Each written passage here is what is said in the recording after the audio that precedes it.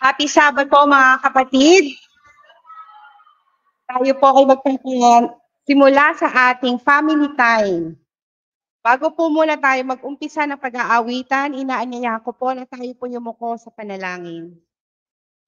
Let's pray. Mahal po namin Panginoon, salamat po sa magandang araw ng Sabat ng iyong pinagkaloob.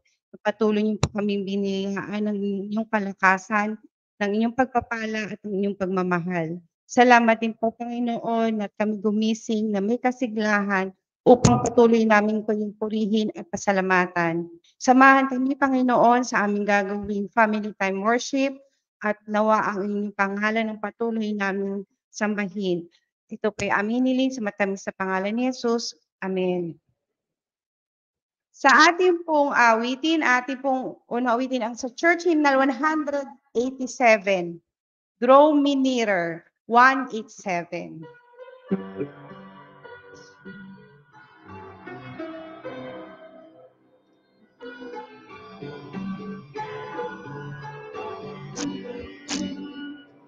I am trying,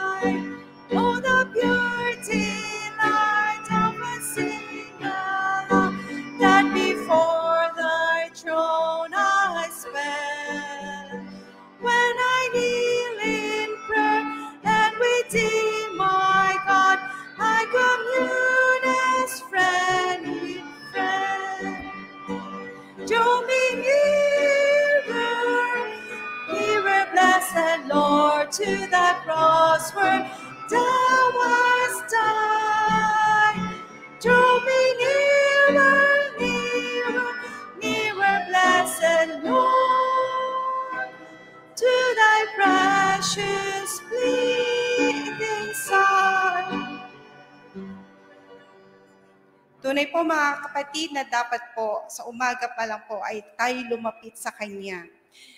At sa ating pangalawang awitin, ating pong awitin ng Lord in the Morning, Church Hymnal 17, 1-7.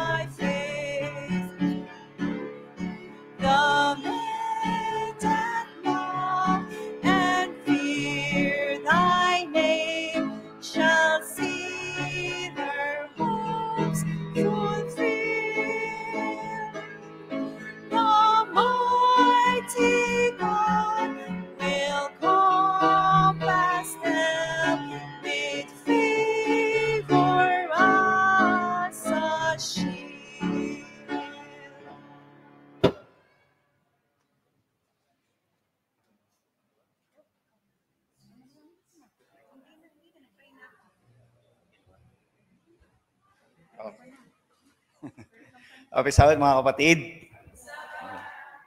Yan. ah, ang pamilya Bernardo po ang natasan po na manguna po sa family time namin. So actually hindi po kami ang naka-schedule talaga ngayon. Pero po rin ang Panginoon dahil kahit pa paano, natuloy pa ating programa. No? Nagkaroon lang po kami ng medyo maiksing pa no, para uh, mas ayos po yung ating programa ngayon. So ngayon pong umaga ang ating pong uh, bibigay ng Mixing mensahe po ay ating ang, ang aking puting ina si Sister Ida Bernardo. At maraming salamat po Kuya Gilbert sa ating uh, pagtuturo ng piano, ganun din sa pangunguna ng uh, pagkanta ni Sister Donaida Ramos. Uh, muli po, uh, happy Sabbath po muli sa bawat isa at uh, ang susunod po ang ating uh, mensahe ni Sister Ida Bernardo. Kung titignan po natin ang oras, mas short na ng ilang mga minuto para sa ating Sabbath School.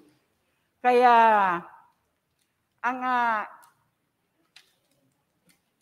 ang ating devotional sa umagang ito ay pinamagatan ko na putting God in the center of our family. Inasmuch na itong oras na ito ay for family time. Sabi po doon, pag ang isang uh, lalaki at isang dalaga ay uh, parang mahirap ako mag-translate. When a man and a woman binds their relationship together, through marriage, the family is formed. And we notice that when a family is formed, this is the smallest unit of our society. And there is now the father, There is the mother, the children, and putting God in the center of them all. Our family should always be bounded. Nababakuran sana tayo ng isang pananampalataya at ito ay pinagkaisa ng pagmamahalan. Though there are many crucibles na nadadaanan natin sa abang tayo ay naglalakbay sa lupang ito, yung mga how we are going to combat yung mga crucibles na ito sa ating mga napag-aralan sa ating uh, quarterly lesson ay napakalaking bagay para paano natin uh, gagawin sa mga problema na dumadating sa ating mga family. Sabi din doon sa Proverbs 3, 5 to 6, Trust in the Lord with all your heart and lean not to your own understanding. Acknowledge Him and He shall direct your path. Nung, uh, nung una pa lang ako, ito yung na, na, na ano ko na din na verse, napakaganda. At ito ay talagang uh, ang implication nito sa buhay natin ay napakabuti. Sabi din doon sa Philippians uh, 4.13 na laging nakalagay sa ating mga monitor, I can do all things through Christ which strengthens me. Pag wala si Kristo sa ating buhay, anuman ang kalagayan natin, ay wala tayong magagawa. Kaya let's put God always in the center of our life. Sabi din doon, isa din na madalas kong napapakinggan ito kay Pastor Meneses sa kanyang devotional, may mga cases na lagi niyang nababanggit ito sa Romans. Ito ay matatagpuan sa Romans, Tita Fels. I can, uh, all things work together for good. 828. 828 ba? Okay, for good to those who love God, to those who are called according to its purpose. Kaya lahat ng mga bagay ay talagang ipinagkakalob sa atin ng ating Panginoon at tayo naman ay ah, sumusunod sa kanyang mga bilin at ito ay ang kanyang dahilan kung bakit siya ay pumarito din dito sa lupa. Itong nagdaan na linggo ay napag-aralan din natin yung rewards of faithfulness. Napakaraming mga bagay doon na ibinibilin kung paano tayo ah, pagkakalooban ng mga rewards na ito sa, da, sa pamagitan ng ating pagsunod sa ating Panginoon. Pag tayo po ay ah, may pananampalataya, nandoon na din yung pananam ob- obedience. Dumadating yung aking panangpan. Kumbaga sa isang magnet, inaano ko din, sa isang magnet, pag ah, unlike poles attract, di ba? Kung may unity sa mga members ng family, there will always be bounded together. Pero kung nandiyan yung mga argument, yung mga, kung ano-anong mga bagay na dumadating, hindi natin may iwasan din yan. Pero we see to it, the, we see the, uh, ang tulong ng ating Panginoon para at the end, hindi na masama yung nagkakaroon ng argument as long as the end ay magkaroon ng agreement. Di ba mga kapatid? Pero kung nagtapos kayo na argument na walang ah, katapusan ng pag-settle ng problem na yun, ay walang mangyayari.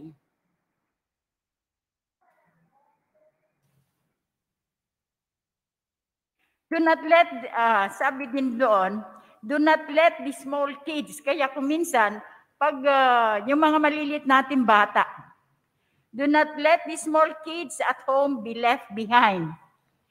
Kasi kung minsan, yun nasa isip natin, oh, panggulo ka lang doon, maiwangan lang ka na lang dyan. Pero sabi ng ating Panginoon, from the smallest member of the family should always be brought to the church. Kasi mapapansin natin, pag yung baby na yan ay laging nadadala sa ating ah, bahay dalanginan, hanggang lumaki siya, siya ay masasanay. Ah, I give appreciation to Sister Sani kasi although she is so much uh, tight sa mga gawain niya, lahat ng kanyang mga po ay lagi niyang pinagsisikapan na dinadala. Let us see Ramram. Si Ramram, maliit pa lang yun na talagang uh, kwan. What do you notice to Ramram? O yung mga melody, yung mga awit ay nakukuha niya and then yung lyrics na ngayon at marunong na siyang bumasa, yun ang effect ng pagdadala ng mga bata na yon.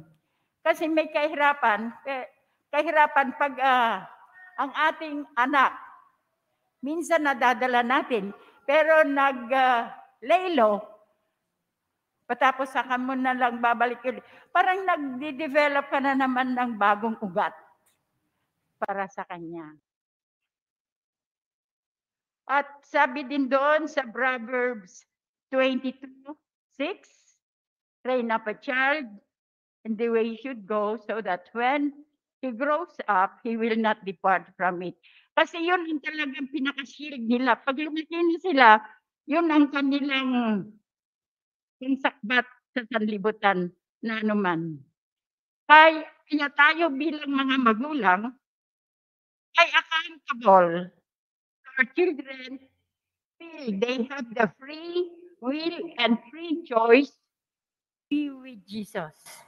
Kung hindi natin ginagayad yung mga bata na ito, maski nandun yung kalikutan, never mind, talaga nandyan nga tayo para sawayin sila o kaya i-train up sila o dito ka lang.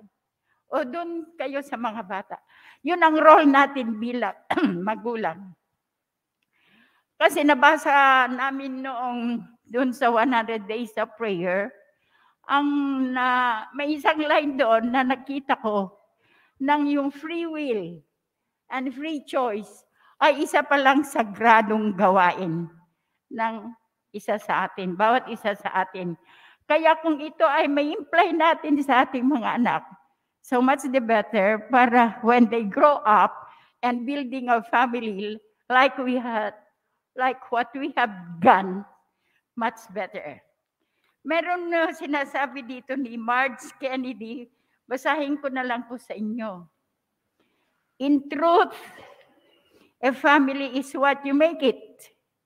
It is strong not by the number of heads counted at the dinner table, but by the rituals of health family members create, by memories you share, by commitment of time, caring, and love you show to you, you and love you show to one another, and by the hopes for the future you have an you have as individual and as a unit. So when all these children of the members of the family will be grouped together, then you are building a unit. So first, we must have God, we have the family, and then what we form is the society. Ito po lang lahat ang aming may share, bangat ito ay uh, biglaan. Sorry for the preparation na parang abrupt din. Pero thank you, Lord, you are always there. So let's pray. Ama namin na mapagpala, maraming salamat, Ama, sa sharing na nangyari sa umagang ito. Kayong po, po ang bumabay sa mga magulang, ganun din ang aming mga anak sa aming pang-araw-araw na buhay. Alam po namin na malapit na po ang inyong pagdating. Igayak niyo po ang bawat isa sa amin para kami lahat ay walang mawawaglit kundi magkasama-sama doon sa lugar na inyong pinaghanda sa pangalan ng aming tagapagligtas na si Jesus. Hinihingal pa ako. okay na. Oh.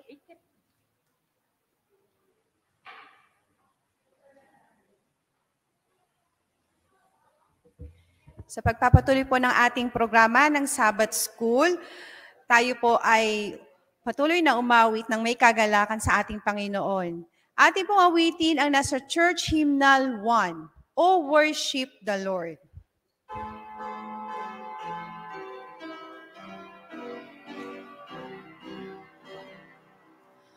Oh, worship the Lord in the beauty of holiness. Bow down before his glory proclaim. With gold of obedience and incense of lowliness. Kneel and adore him. The Lord is his name. Low at his feet, lay thy burden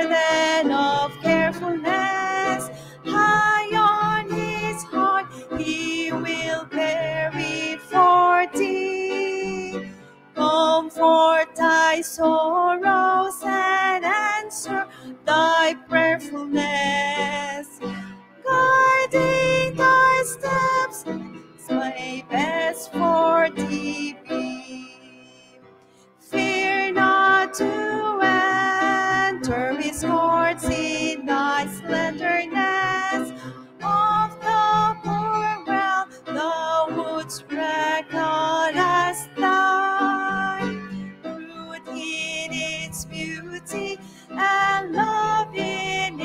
Tenderness. These are the offerings to lay on his shrine. These though we bring them in trembling and fearfulness, he will accept for the name that is dear. Mornings of joy give for evenings of tearfulness. Grass for our trembling and hope for our fear.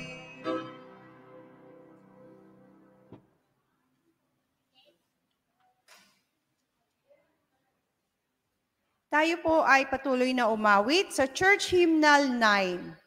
Rejoice ye pure in hearts. Church Hymnal 9.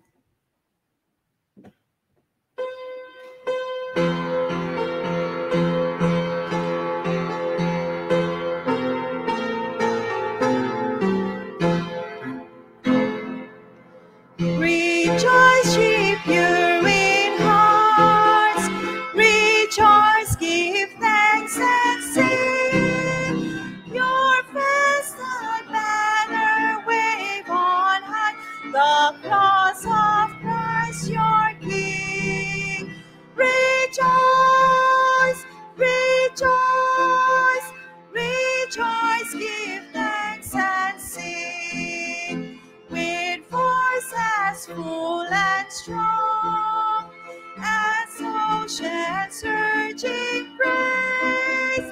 Send forth the sturdy hymns of hope, the songs of ancient days. Rejoice,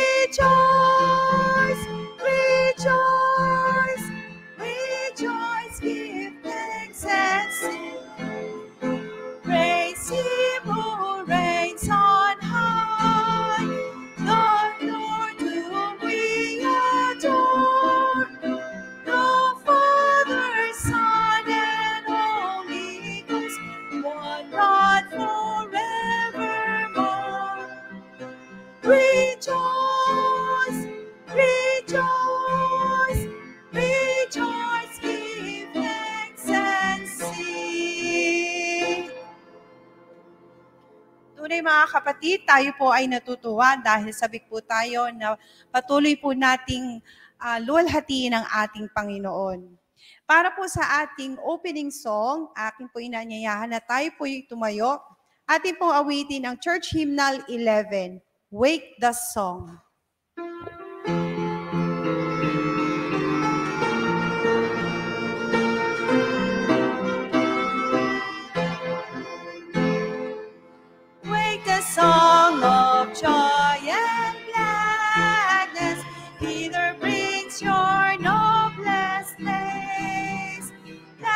every thought of sadness, pouring forth your highest praise. Sing to him whose care has brought us once again with friends to meet, and whose loving voice has taught us of the way to Jesus' feet. Wake the song, wake the song, the song of joy and gladness. Wake the song, wake the song, the song of jubilee. Joyfully with songs and banners, we will greet the festal. Shout aloud our glad hosannas and our grateful homage pay.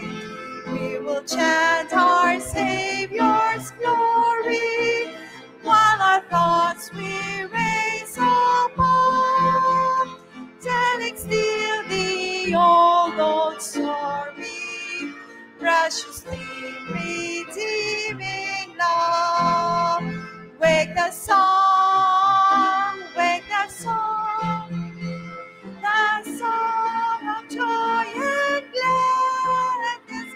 Wake the song, wake the song, the song of jubilee.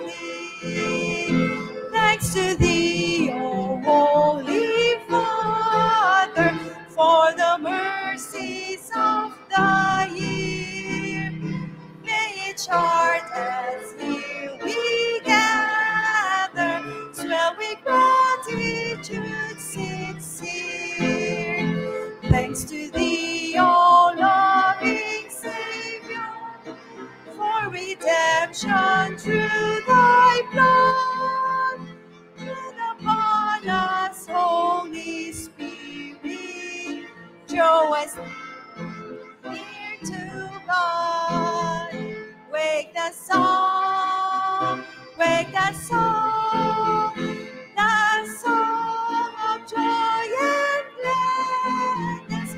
Wake the song, wake the song,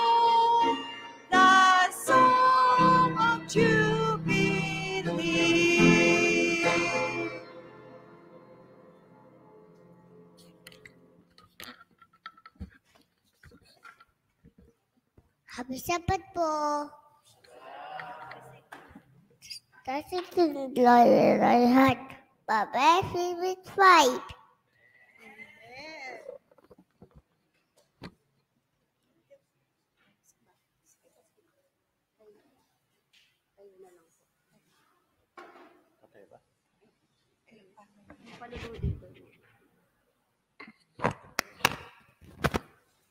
Tayo po ay mananalang.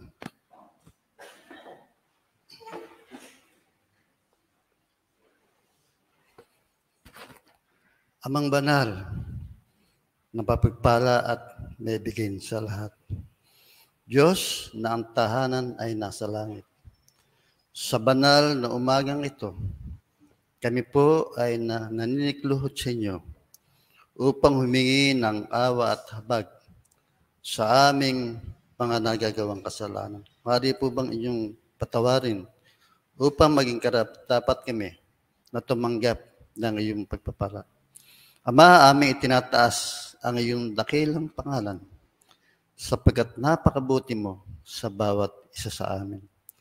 Amin ding indinadalangin ang bawat pamilya na sana magkaroon kami ng pagkakaisa ng pananampalataya upang kung dumating ang mapalad na araw na aming inihintay sa muling pagbabalik ng aming Panginoong Hesus, ay magkasama-sama kaming sumalubong at magmana ng buhay na walang hanggan. Hinihiling namin sa umagang ito, naway lukuban kami ng iyong banal na Espiritu upang ang bawat aming mapapakinggan, maririnig, ay makapagpatibay ng aming pananampalataya. At sa isang espesyal na panalangin, idinadalangin si, namin si Canita de la Cruz at ang kanyang mga anak.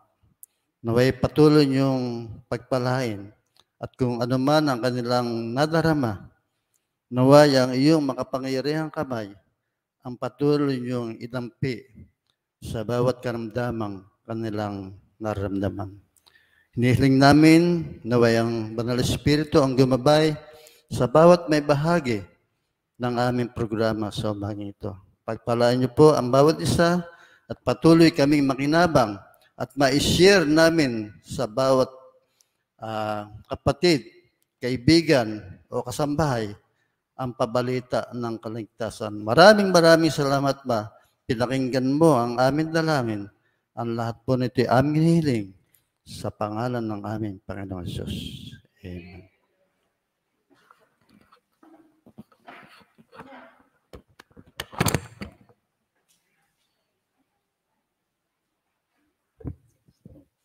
Happy Sabbath po mga kapatid. Batiin po natin yung ating mga katabi, kamayan po natin, at sabihin po natin Happy Sabbath po. Ayan. Ayan.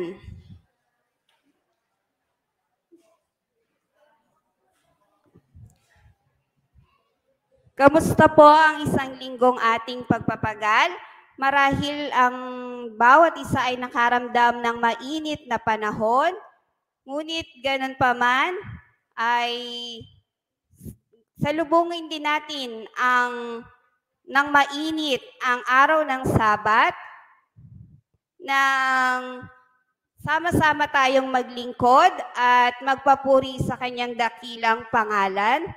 At para po sa ating programa, ay nais ko pong pasalamatan at pasalamatan ang ating mga kapatid na patuloy na naglingkod at maglilingkod sa atin ngayong araw ng Sabat. Tayo po ay pinangunahan sa pagpapaawit ng ating Children Ministry Leader. Wala pong iba kundi si Sister Donaida Ramos. Salamat po. At ang ating pong memory verse ay pinagkaloob po ni Little Brother Serge Ezekiel Sagun.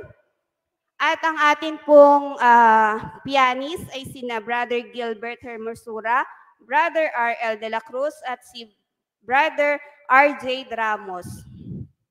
At salamat po sa ating opening prayer na pinangunahan po tayo ni Brother Boy Prieto. At mamaya po ay makakapakinig tayo ng isang awitin, ay isang musical offering na mula po kay Brother R.L. De La Cruz. At bago po tayo makapakinig ng isang awitin, ay ng isang musical offering, tayo po ay makakapanood po muna tayo ng ating video presentation ng ating March and April celebrant. At ito po ay ipapanalangin po ni Elder Chris Opiar. At ang ating pong lesson review ay by year group po tayo. Ngayong ah, araw ng Sabat ay ang Mount Carmel po ay nasa Bulsukan Church. Kaya po yung ah, Mount Sinai po ay mag-forward na po dito para po hindi po mabakante yung unahang upuan po dahil ang Mount Carmel po ay nasa Bulsukan. Yan, salamat po. At para sa ating summary and question and answer, tayo po ay papangunahan ni Sis Fels de la Cruz. At magtatapos po tayo sa closing prayer ni Sister Zenny Valenzuela. At nais ko pong pasalamatan ang ating ah, media ministry team na patuloy tayong ah, nakakapagbahagi ng banal na salita sa ating mga kapatid na nasa malalayong lugar. At ito po ay sa pangunguna ni Brother Ivan Garcia. At bago po ako maupo, ay nais ko pong samahan niyo akong basahin ang nasa 1 Samuel 12 verse 22 to 24. Sapagkat hindi itatakwil, hindi pababayaan ng Panginoon ang kaniyang bayan dahil sa dakilang pangalan, sapagkat kinalulugdan ng Panginoon na gawin kayong bayan niya. 23, sa kasaganang akin, malayo nawang sa akin na ako'y magkasala laban sa Panginoon sa paglilikat ng panalangin dahil sa inyo, kundi ituturo ko sa inyo ang mabuti at matuwid na daan. Matakot lamang kayo sa Panginoon at maglingkod kayo sa Kaniya sa katotohanan ng inyong buong puso. Dilid-dilihin nga ninyo kung gaanong dakila ang mga bagay ang kanyang ginawa sa inyo. Tunay nga pong napakabuti sa atin ng Panginoon. Lagi nating alalahanin ang kanyang mabuting gawa. Tayo ay patuloy na magtiwala, manampalataya at maglingkod ng buong puso sa ating Panginoon. Ang sabi nga po ng memory verse ni, ni Little Serge, Trust in the Lord with all your heart. Proverbs 3 verse 5. Muli, happy Sabbath po at maraming salamat po. God bless us all.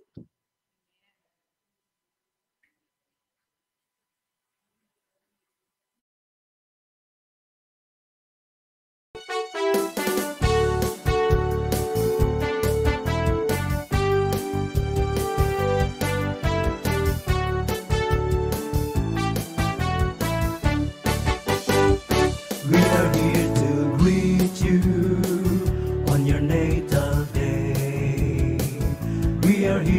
see you A bird around the lake. It's a happy birthday And we're happy too. We sing with all our hearts Because we love you so.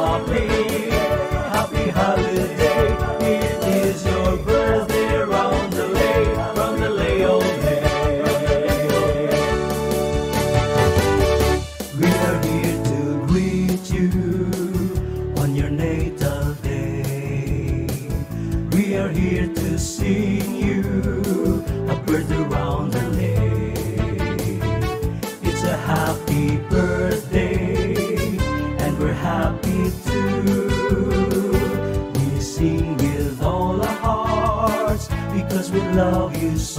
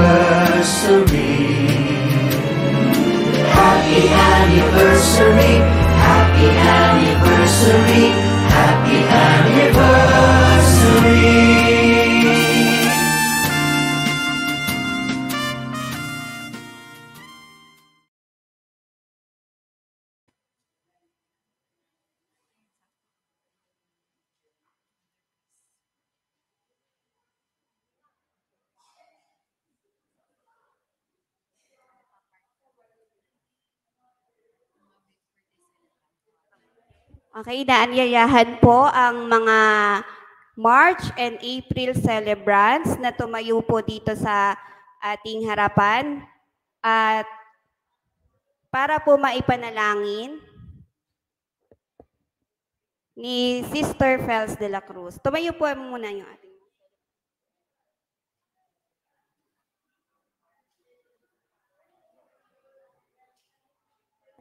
inaanyayahan ko po lahat ng mga nag-celebrate ng kanila pong mga special na araw ngayon pong buwan ng March hanggang April.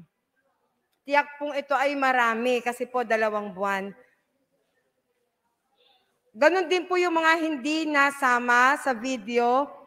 Pagpaumanhin niyo po kung ang inyo pong pangalan ay hindi pa po naitala. At mamaya po sa pag-upo po ni Sister Janine, ay maaari niyo pong siyang lapitan at maisama ang inyong pong pangalan. Narito na po ang ating pong elder, si Elder Chris, na siya pong mangunguna sa panalangin para po sa mga may kaarawan.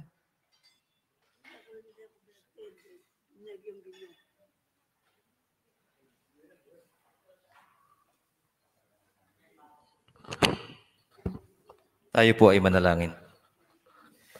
Mahabagin, mapagpala at dakila naming Diyos, Ama naming banal na makapangyarihan sa lahat. Maraming salamat po sa umagang ito.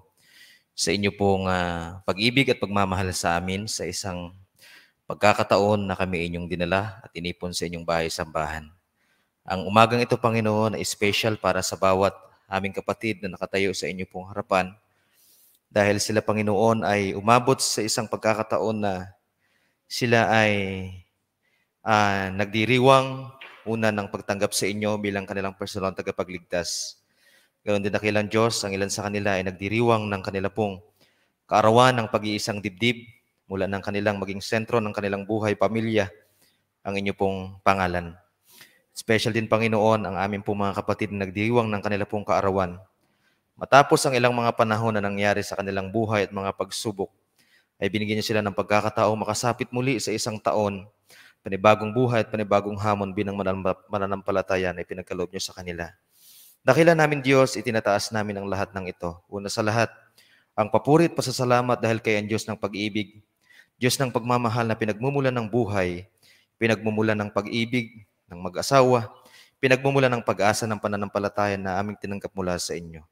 Ang lahat ng ito, Panginoon, ay taos-pusong pinasasalamatan namin at nadalangin namin, Ama, na patuloy na kayong siyang manguna at makisama sa kanila sa panibagong taon na kanilang kakaharapin sa kanilang buhay na alam namin, Ama, ang buhay sa mundong ito ay hindi madali. Ngunit dakilan Diyos kayo ang Panginoon siyang patuloy na nagbibigay ng pag-asa at pag-ibig, pagpapala at kalusugan ng pangangatawan sa bawat isa sa amin. Kaya tulungan kayo, Panginoon, na sa lahat ng mga bagay na nangyari sa aming buhay, makita namin ang positibong epekto nito sa tulong ng aming pong Panginoong tagapagligtas at sa gabay ng inyong pong banal na Espiritu. Maraming maraming salamat, dakilang Diyos, sa inyong pong patuloy na pagtugon sa aming pong mga kahilingan, lalo tigit sa aming mga pasasalamat. Sa pangalan po ng aming Panginoong Jesus. Amen.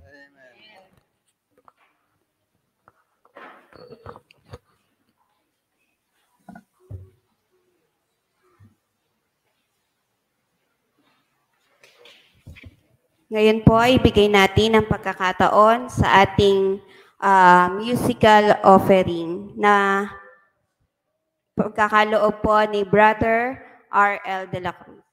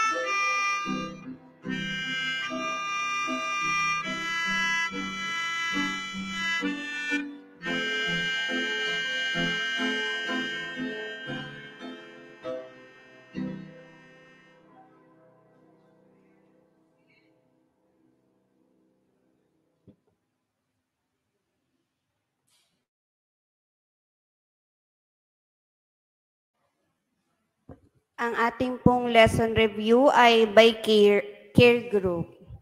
Okay, maaari na po kayong pumunta sa kanya-kanya yung ah, care group. Lang po. Meron po tayong pastoral class doon po sa likod. At ito po ay pangungunahan po ni Elder Chris Apiar.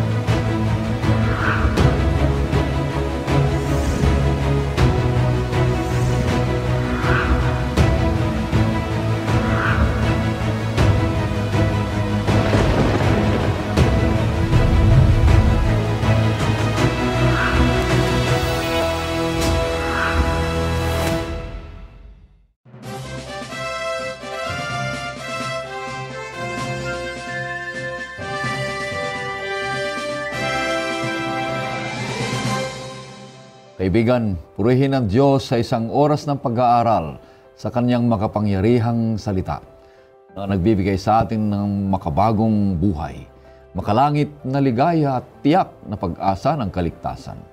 Sa oras na ito, malalaman mo ang hiwaga ng katotohanan tungkol sa mensahe ng tatlong anghel na tinutukoy sa Apokalipsis. Ang mga mensaheng ito ay tinatawag nating mga pangkasalukuyang katotohanan para sa lahat ng mga taong nabubuhay sa balat ng lupa. Kaya inaanyahan kita kaibigan na masugid mong subaybayan ang programang ito, oras ng pag-aaral, upang malalaman mo kung ano ang panukala ng Diyos para sa iyong buhay kristyano. At karapat dapat ka sa ikalawang pagdating ng ating Panginoong Yeso Kristo. Ito po ang iyong lingkod, Pastor Ray Urbi bilang facilitator ng ating pag-aaral. Binabati ko lahat ng mga viewers sa buong mundo, maging saan ka man ngayon, kaibigan. Pagkulooban ka nawa ng karunungan ng langit, basbas ng ating may kapal, at ah, naway lahat ng bawat sa amin dito ay nasisiyahan sapagkat ah, may mga reflections at comments kayo sa ating mga tinatalakay dyan sa comment section. Kaya kaibigan, Nais kong magkaroon ka ng kopya nito para mas magiging alive at vibrant ang iyong pag-aaral bilang isang Kristiyano. Makipag-ugnayan ka lamang sa amin dito sa NPUC o sa malapit na Seventh-day Adventist Church sa iyong lugar. Bukod dito, mayroon na tayong downloadable outline na pwede mong gamitin sa iyong pagtuturo ng leksyon, sa iyong care group or class discussion. Sa ating pag-aaral ngayong trimestre ay makakasama natin dito ang mga bagong dalawang magigiting na pastor dito sa studio. Una, ay muli nating makakasama uli siyang magbibigay sa atin ng summary ng ating leksyon. Walang iba kundi si Pastor Ian Felicitas. Siya ang ating kasalukuyang Dean of College of Theology sa Adventist uh, University of the Philippines sa Puting Kahoy, Silang, Cavite. Kumusta kayo, Pastor Ian? Mabuti naman, Pastor Ray, uh, Pastor Marvin, at sa inyo pong lahat na mga ginigiliw naming uh, taga-subaybay sa programang ito, Oras ng Pag-aaral. Samahan niyo po kami sa pag-aaral ng salita ng Diyos at nawa ang pag-aaral natin ng salita ng Diyos ay maging blessing hindi lamang sa iyo, sa iyong pamilya at maging sa iglesyang kasama ka o kasapi ka ng iyong iglesia. Mm, maraming salamat. Ang pangalawang makakasama natin dito sa studio ngayong buong trimestre ay walang iba kundi si Pastor Marvin Diaz, ang ating Ministerial Secretary at NDRIEL Field Secretary dito sa North Philippine Union Conference. Kumusta kayo, Pastor Marvin? Maraming salamat mga minamalang kapatid, Pastor Ian, Pastor Ray sa pagkakataon na ating pag-aralan ang banal na kasulatan at uh, hindi lang yon upang uh, yung ating mga kapatid na gustong mag-aral na sa mas malalim na pag-aaral ng ating leksyon ay makabahagi tayo ng kaliwanagan sa kanila at upang maging dynamic yung kanilang Sabbath School class. Amen. Purihin ng Diyos. Ah, sa ating pagpatuloy, nais kitang anyayahan sa maikling panalangin. Mahal namin Diyos sa manaming banal na binubukalan ng karunungan at buhay na walang hanggan. Kami po ay lumalapit sa inyo sapagkat ah, kinikilala namin kayo na kayo ang may-ari at may akda ng aming buhay. Ngayon, Panginoong Diyos, sa aming pag-aaral, nawa po ipagkaloob sa amin ang karunungan at ministeryo ng Banal na Espiritu upang maintindihan namin ang aming pag-aaralan at tatalakayin ngayong oras na ito. Pagpalain ang bawat isa, ganun din ang mga viewers namin, at uh, purihin ang iyong banal na pangalan. Patawarin kami, Panginoong Diyos, sa aming mga kasalanan. Ganun din po ang pagpapatawad namin sa mga nagkasala sa amin. Ito hiling namin sa pangalan ng aming Panginoong Yesus. Amen. Amen. Ang pamagat ng ating unang paksa sa ating uh, bagong uh, uh, leksyon sa ngayong trimestre ay may pamagat na nagwagi si Jesus, nagapi si Satanas. At ang atang, ating talatang sa uluhin ay matatagpuan sa Apokalipsis uh, 12, 17. Ito pong sinasabi, Nagalit ang dragon sa babae at umalis upang digmain ang nalabi ng babae. Ang mga tumutupad na sa mga utos ng Diyos at ang mga may patutuo si Jesus. Narito si Pastor Ian upang ibahagi sa atin ang maikling kabuuan ng ating leksyon. Pastor Ian, please. Thank you, Pastor Ray. Alam niyo mga kapatid, isa pong napakagandang leksyon ang pag-aaralan natin sa buong tatlong buwan ng quarter na ito. Sa bawat Sabbath mga kapatid, bawat linggo, ito po ay mga lesson na nilalaman niya ang mahalagang bagay upang maunawaan po natin ang isa sa pinakamahalagang mga talata sa aklat ng Revelation. Pag sinabi po natin aklat ng Revelation, marami pong tao ang tingin nila ang aklat ng Revelation, Pastor Marvin, Pastor Ray, ay nakakatakot. Yeah. Kasi ang nakikita nila dito, yung mga halimaw, yung mga beast, o yung mga representation na hindi kaaya-aya ang description. Pero alam niyo mga kapatid, in the first gleanings of the book of Revelation, kung tutunghayan niyo po mga kapatid ang aklat ng Revelation, Revelation chapter 1, at tunghayan po natin ang mga tala ng versikulo 1 ng Revelation 1. Uh, Pastor Ray, medyo uh, ipaglingkod po ninyo ang mga talatang ito. Ang sabi po sa wikang English is, The revelation of Jesus Christ, which God gave Him to show His bondservants the things which must soon take place. Mhm. Mhm. Ito mga kapatid, mga ginigiliw na taga-subaybay ay isang revelation ng ating Panginoon. Pero isang maganda sa unang lesson pa lang natin Pahayag. ay ipinapakita dito, Pastor Ray, Pastor Marvin, na ang ating Panginoong Jesus ay isang nagwagi, na isang Diyos na nanagumpay at yung mga Kristiyano ay nanagumpay din. Paano ito ipinapakilala ng aklat ng Revelation? Alam niyo mga kapatid, para maunawaan po natin ang isa sa mga mahalagang talata na laging sinisipi ng mga Adventista, ito pong uh, messages of the three angels. Mahalaga pong maunawaan natin ang mga background ng mga ilang kapitulo bago po ang kapitulo 14. Tingnan po natin ang kapitulo 12. Dito po sa Kapitulo 12, mga kapatid, makikita natin dito, una, na ang Diyos ay meron pong malaking digmaan, malaking Tunggalian. ah, tunggalian. There- there's there's a great controversy. Eh, sabi nga ng ibang authors is there's a galactic battle that is going on. So, Yeah. yung makikita natin dito sa Kapitulo 12, there is something that is very interesting. When you look at verse 8, Pastor uh, uh, Pastor Ray, pakibasa po. 12 verse 8. At hindi sila nanganalo, ni nasumpungan paman ang kanilang dako sa langit. Ano po makikita natin dito sa 12 verse 8? And they were not strong enough Mhm. eh, and there was no longer a place found for them in heaven. Alam niyo po, ang kaaway mga kapatid ay sinubukan niyang awayin ang ating Panginoon. Dito makikita natin ay isang dakilang, malaking tunggalian na nangyayari doon sa langit na bayan. But what you see here, Satan loses. So, ibig sabihin ba yan, Pastor Ian, yung Book of Revelation ipinapakita na sa atin from the beginning na ang Panginoong Yesus, siya na ang nagwagi. Yes. Y- yun ang pinakamaganda doon, Pastor Marvin. At ang ang magandang makita ng ating mga kapatid at taga-subaybay ngayon that Jesus is presented in the book of Revelation as the victor. Jesus is the victorious one, not the enemy.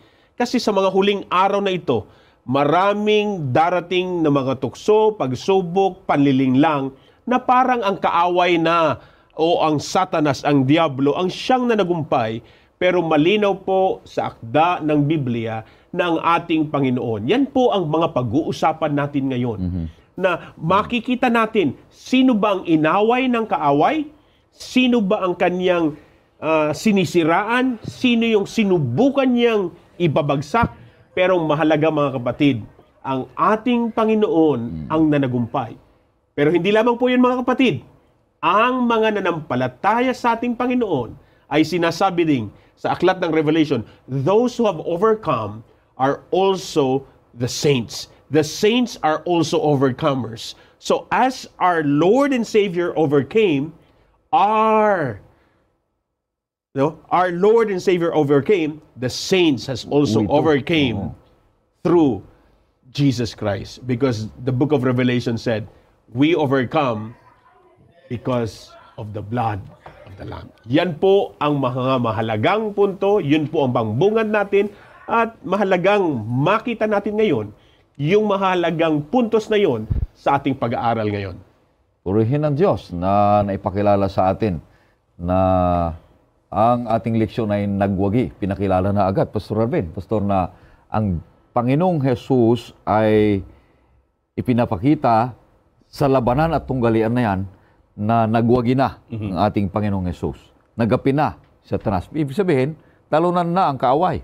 Wala na siyang ah, panahon pa para mananalo sa tunggaliang ito na lahat ng mga na kay Kristo ay magkaroon ng pagtatagumpay kung sila ay nasa panig ng ating Panginoong Kaya, Yesus. Pastor Ray, ah, Pastor Yan, doon pa lang sa pasimula, kung yung buhay ng isang mananampalataya ay ipinasakop sa Panginoon, Mhm. wala tayong ipinang, ipapangamba sa ating hinaharap. Amen. Kasi dito na nakita na natin na Jesus is is already the victor. Siya na ang nagwagi. So, ibig sabihin yan, yung mga saints, Oh, mga Yan. banal. Yung mga banal at napabanal sa pamamagitan ng dugo ng ating Panginoon ay yung pagwawagi ni Kristo ay kasama sila. Amen. Yan po yung mga mahalagang puntos. Kaya excited po ako sa buong quarter na ito na makita ng ating mga taga-subaybay na ang pananagumpay ng ating Panginoon ay napakahalaga. Purihin ng Panginoong Diyos. Mayroon kang naihanda dyan, Pastor Marvin, na mga tatlong punto na iwan natin sa mga kapatid. Pastor, eh, pag titignan po natin, ah, ipinakita sa atin ni Pastor Ian yung bird's eye view ng ah, Book of ah, Revelation. Revelation. Kaya, mga minamahal na kapatid, tignan din natin, itong pangyayaring ito, itong malaking tunggalian na ito, ay ito ay nangyari doon sa langit. Okay. So, doon sa langit, natalo ang kaway. Mhm. Bumugsak po dito.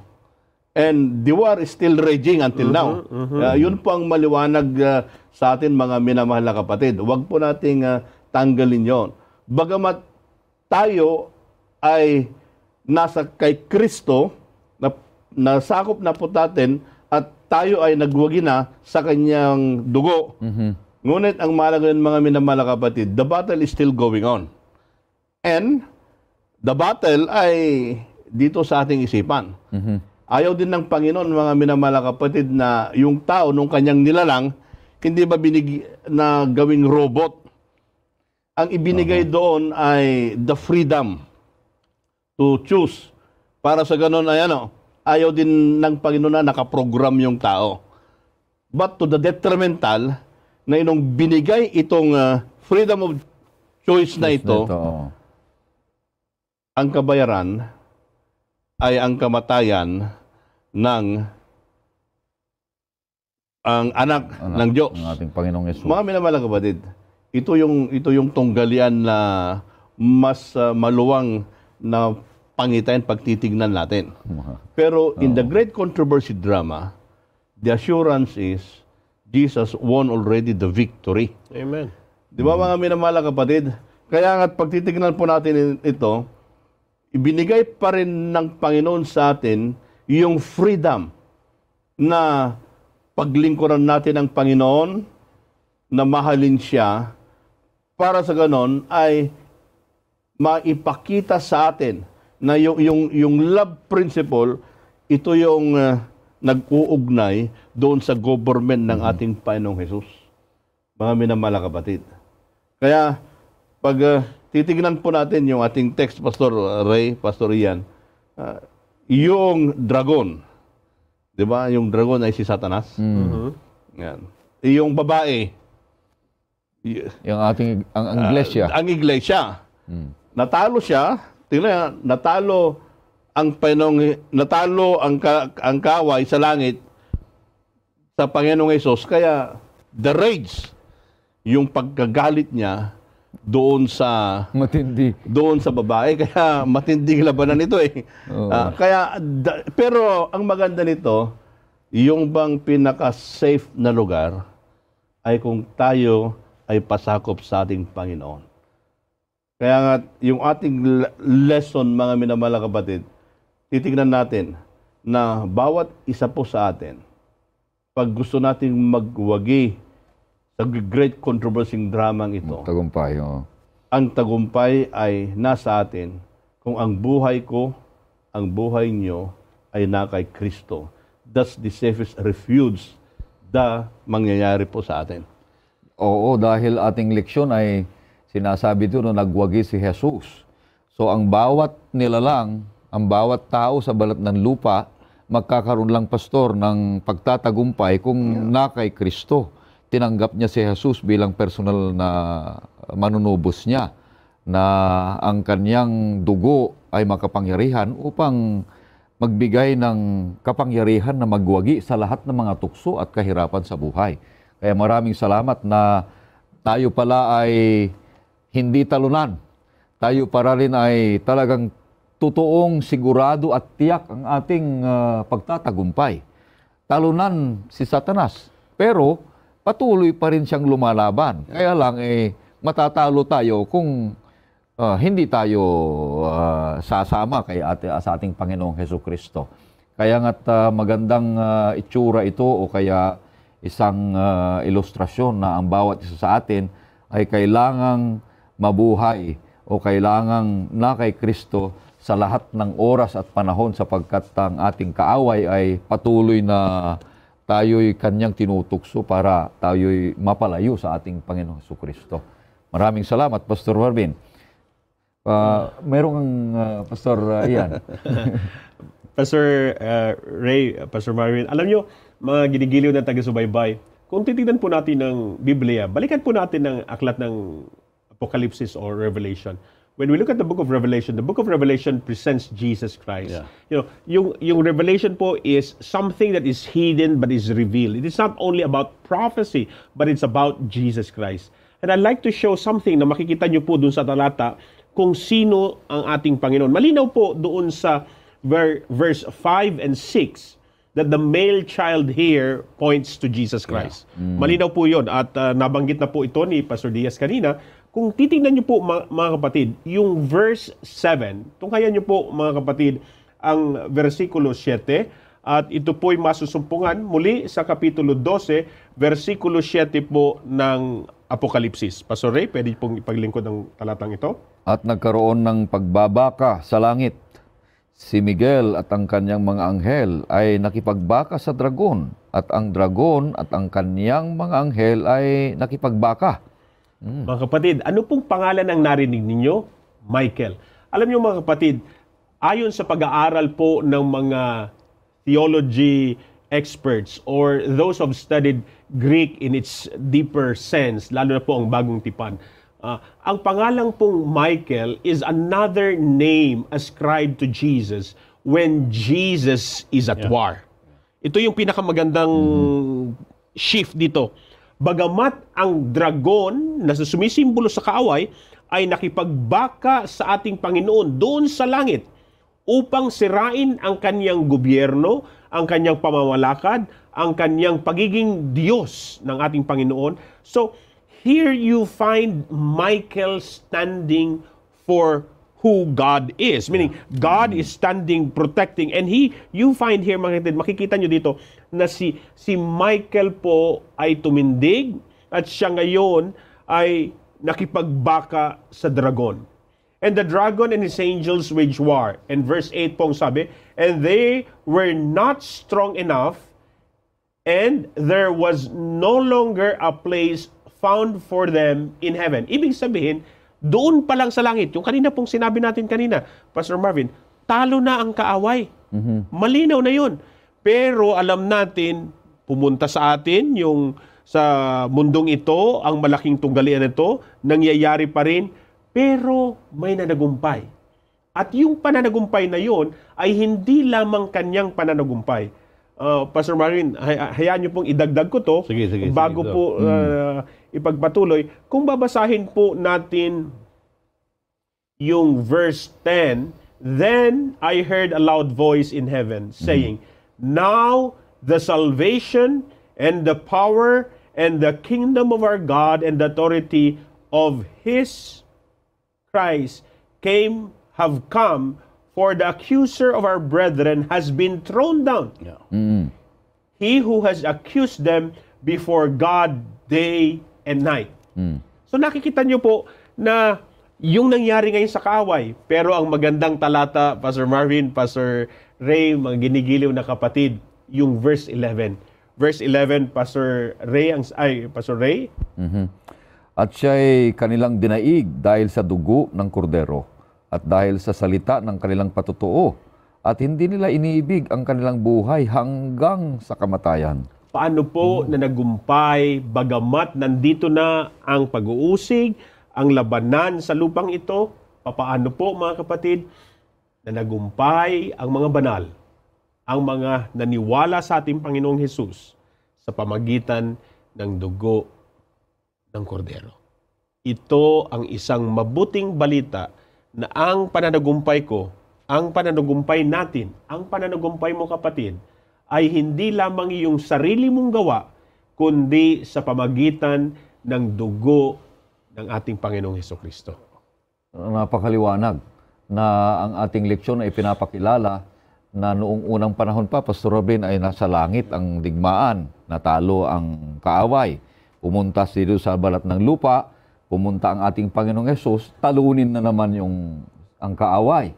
So patuloy yan na nagkakaroon ng digmaan sa bawat isa sa atin sa kaaway ayon din sa Panginoong Diyos. Kaya ang bawat isa sa atin ay magkaroon lang ng tagumpay, mga kapatid at mga kaibigan, kung tayo ay na kay Kristo na ipinapakita sa Apokalipsis na siya ang panalo, siya ang tagumpay ng buong buhay ng bawat isa sa atin, mga kaibigan. Ngayon lamang ay pinapakita na dito sa ating ah, talatang sa uluhin ay punong-puno ng galit itong ah, si Satanas.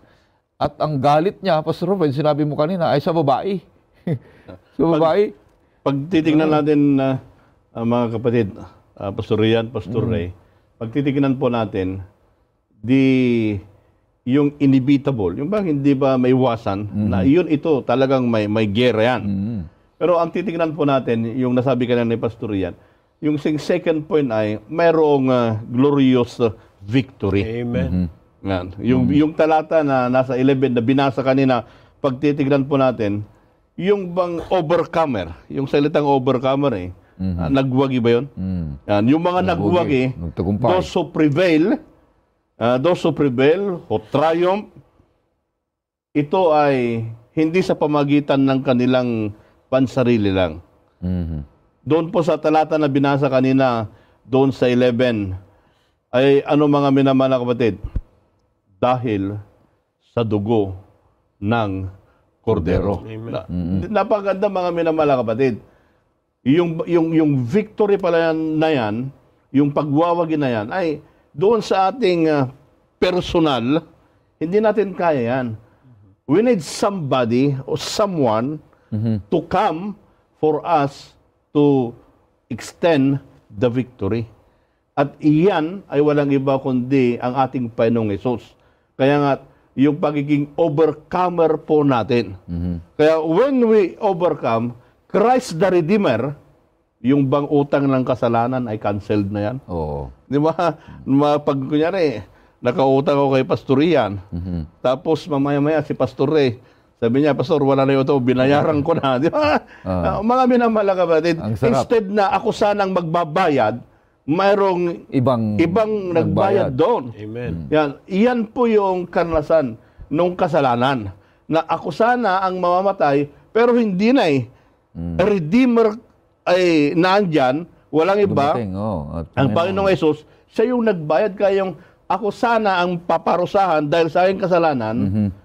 but the Redeemer, Jesus Christ, siya na ang nagbayad. Kaya nga ang sabi doon, yan ang dugo ng kordero. Hindi lang yun mga minamahal na kapatid.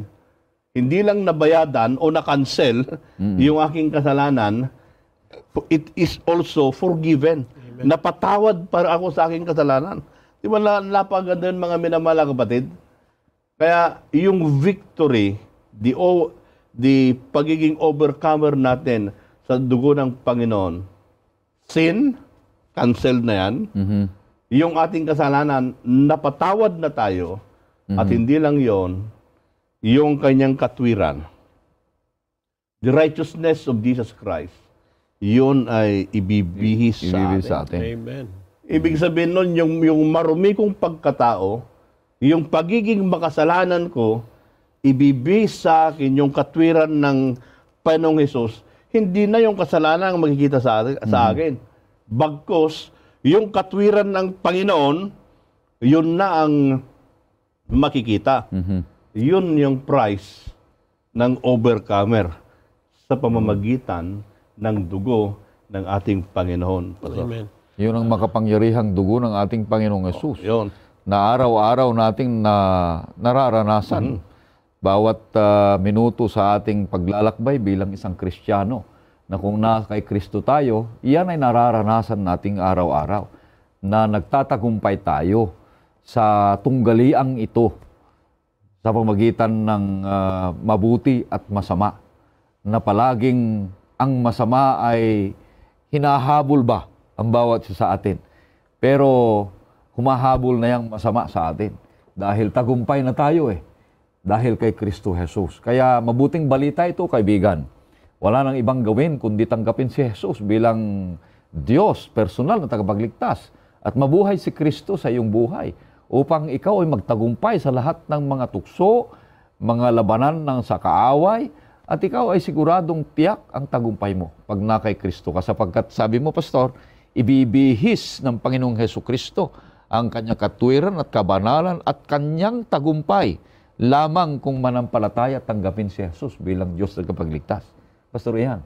Pastor Ray, Pastor Marvin, napakaganda po nung nakikita natin ngayon sa mga binabasa nating talata. Alam niyo mga kapatid, kung kanina po binalikan natin yung talata po na nakita natin sa aklat po ng Apokalipsis, uh, balikan po lang natin ng mabilis para makita po natin yung verse 11. Ang sabi po ng verse 11, they overcame him, referring to the dragon, they overcame him Oo. Because of the blood of the Lamb. Alam niyo mga kapatid, yung pong concept ng Lamb, ma- mahalaga to sa, sa Biblia. Alam niyo mga kapatid, ang ating Panginoon, kanina binanggit ko po yung Michael. This is a theological name na associated to Jesus Christ. It's it's it's it's a war name that Jesus takes when he defends his people. Pero yung lamb mga kapatid, isang napakaganda din na makikita po natin itong aklat po ng Juan. Kung babalikan niyo po sa Juan Kapitulo 1, versikulo 29, kung hindi po ako na nagkakamali. Dito po makikita natin sa John chapter 1 verse 29 Tama. na pinakita po dito ni Juan, ang sabi niya, ah, Behold, Jesus Christ, who is the Lamb of God that takes away the sins of the world. Alam niyo mga kapatid, sa bagong tipan, meron pong sinulat si Juan na limang aklat. Ito po yung Gospel ng John. Next po ay yung 1 John, 2 John, 3 John, at yung aklat ng Apokalipsis. So, yung concept po noong si Jesus ay ang kordero ng Diyos, makikita lamang po natin yan sa Johannine literature. Yeah. And Revelation is a Johannine literature. So, napakaganda po nung pagkasabi ni John doon sa Juan, Behold, the Lamb that takes away the sins of the world. And now, yung Lamb na yon, inamplify na through the experience because of the death of the Lamb, ang sabi ngayon sa verse 11 ng Kapitulo 12 ng Apokalipsis, ang pananagumpay ay nandun sa dugo ng kordero na yon na namatay sa krus. Yun po ang mahalaga. Maraming Adventista parang ayaw nila, parang siguro may gagawain pa ako o maidadagdag ako. Pero mga kapatid, malinaw po ang turo ng Biblia. Kung may pag-aalinlangan ka kapatid, balikan natin ang mga sitas ng mga talata na ating pinag-aaralan at alam ko sa pagpapatuloy po natin ng pag-aaral ay marami pa po tayong makikita. Yan, maraming salamat na ang patutuo ng dugo ng ating Panginoong Yesus. Kaya ng isang kanta na, there is power in the blood. Yung blood na yan ay dugo ng ating Panginoong Yesus. Wala nang iba. Hindi kaninong dugo, kundi dugo ng ating Panginoong Yesus ang makapangyarihan na nagpapatawad, nagkakansela ng kasalanan, na ito'y buong buo, hindi nagdadagdag ang ating gawa para magkaroon tayo ng ah, kabanalan o katwiran, kundi o kahit kaligtasan, kundi buong buo ang kabanalan, kaligtasan at ah, gawa ng ginawa ng ating Panginoong Yesus para magkaroon po tayo ng tagumpay laban sa kaaway at tagumpay tungo sa kaligtasan. Kaya magandang karanasan ito na pagkatapos na ang unang-unang punto ay yung waging war, Pastor Robin, na mayroong tunggalian, nalalahanin natin na panalo si Jesus, nagapi ang kaaway, at yung glorious victory, sigurado ang ating ah, tagumpay kung tayo nasa kay Kristo. At yung pangatlo nito ay yung victorious end time remnant na ang tinatawag nito dahil dito sa ating talatang sa uluhin ay nagalit ang dragon sa babae. Pagkatapos ay ah, pinuntahan niya ngayon yung, yung nalabi na sinasabi dito. Na ang nalabi ay mayroong dalawang ah, katangian, Pastor Robin. Pakipaliwanag po. Pag tingnan po natin, ah, Pastor Ian, si Pastor Ian, ayan, tinuturo yan sa sa, kolehiyo. sa theology yan. Yung, yung, yung concept ba ng mga nalabi, kaya di, di remnant. Hindi lang ang gamit kasi, hindi lang dito sa sa Apocalypse eh. All throughout, even in the Old Testament, May may, remnant. may, mga remnant yan eh, na the, the concept of the of the remnant. Ngunit i- itong last hindi ko alam kung tama yung End time remnant, Pastor. yung end time Oo, remnant. Yan, kasi yung Old Testament may mga remnant yan eh. Oo, eh. Eh, Pero ito, ito yung end time, end time remnant na ito ay unique eh. Bakit sinabi ko mga minamahal kapatid na unique ito? See, It's the dragon himself na kasi talo siya eh. Hindi, ah, talo yung dragon kay Michael. So, ang kanyang ah, platform na awayin ay yung nalabi. Yung bayan ng Diyos Yung ngayon. bayan ng Diyos ngayon. Kasi the remnant church is the the object of Christ's deepest love. Amen. Kasi pag sinaktan niya yung nalabi, para bang nasaktan din yung ah, Oh, yung, yung ulo. Panginoon. Panginoon. Di ba mga minamahal na kapatid? Kaya yun yun yung kanyang kaway. Pero tignan po natin. Say, in, uh, let, let- let's go back uh, a little of the history. Pag tignan po natin, yung woman na nalabi in the wilderness, di ba, ito ay pinersecute uh, during the 1,260 days. Oo. From 530 to 1719. Ito po mga kapatid ay review lang sa, sa atin. Pero pag titignan po natin ito, itong nalabi na ito, mayroong katangian eh. Doon po, doon po sa ating ah, text, doon po sa Revelation 12:17. Oo. Di ba? Ano, ano ba ano ba yung katangian doon, Pastor? May pakibasa doon sa Tagalog. Nagalit ang dragon sa babae at umalis upang digmain ang nalabi sa binhi ng babae. Ang mga tumutupad sa mga utos ng Diyos at ang mga may patutuo ni Jesus. So, dalawa dito, Pastor Marvin. Una, tumutupad sa utos ng Diyos. Ang pangalawa ay may patutuo ni Jesus. Ito yung mga katangian, dalawang katangian ng mga nalalabi na pinupuntirya na ngayon ng kaaway sapagkat sabi mo kanina, hindi na siya nanalo kay Jesus. Nung hindi na nanalo kay Jesus, ay yung mga Nalabi. nalabi, na ngayon ang puntirya niya. Yan, bigyan natin kay. Pastor. Anong uh, ibig sabihin nito, Pastor Ian? Maganda po. Akala ko tutuloy ni Pastor eh.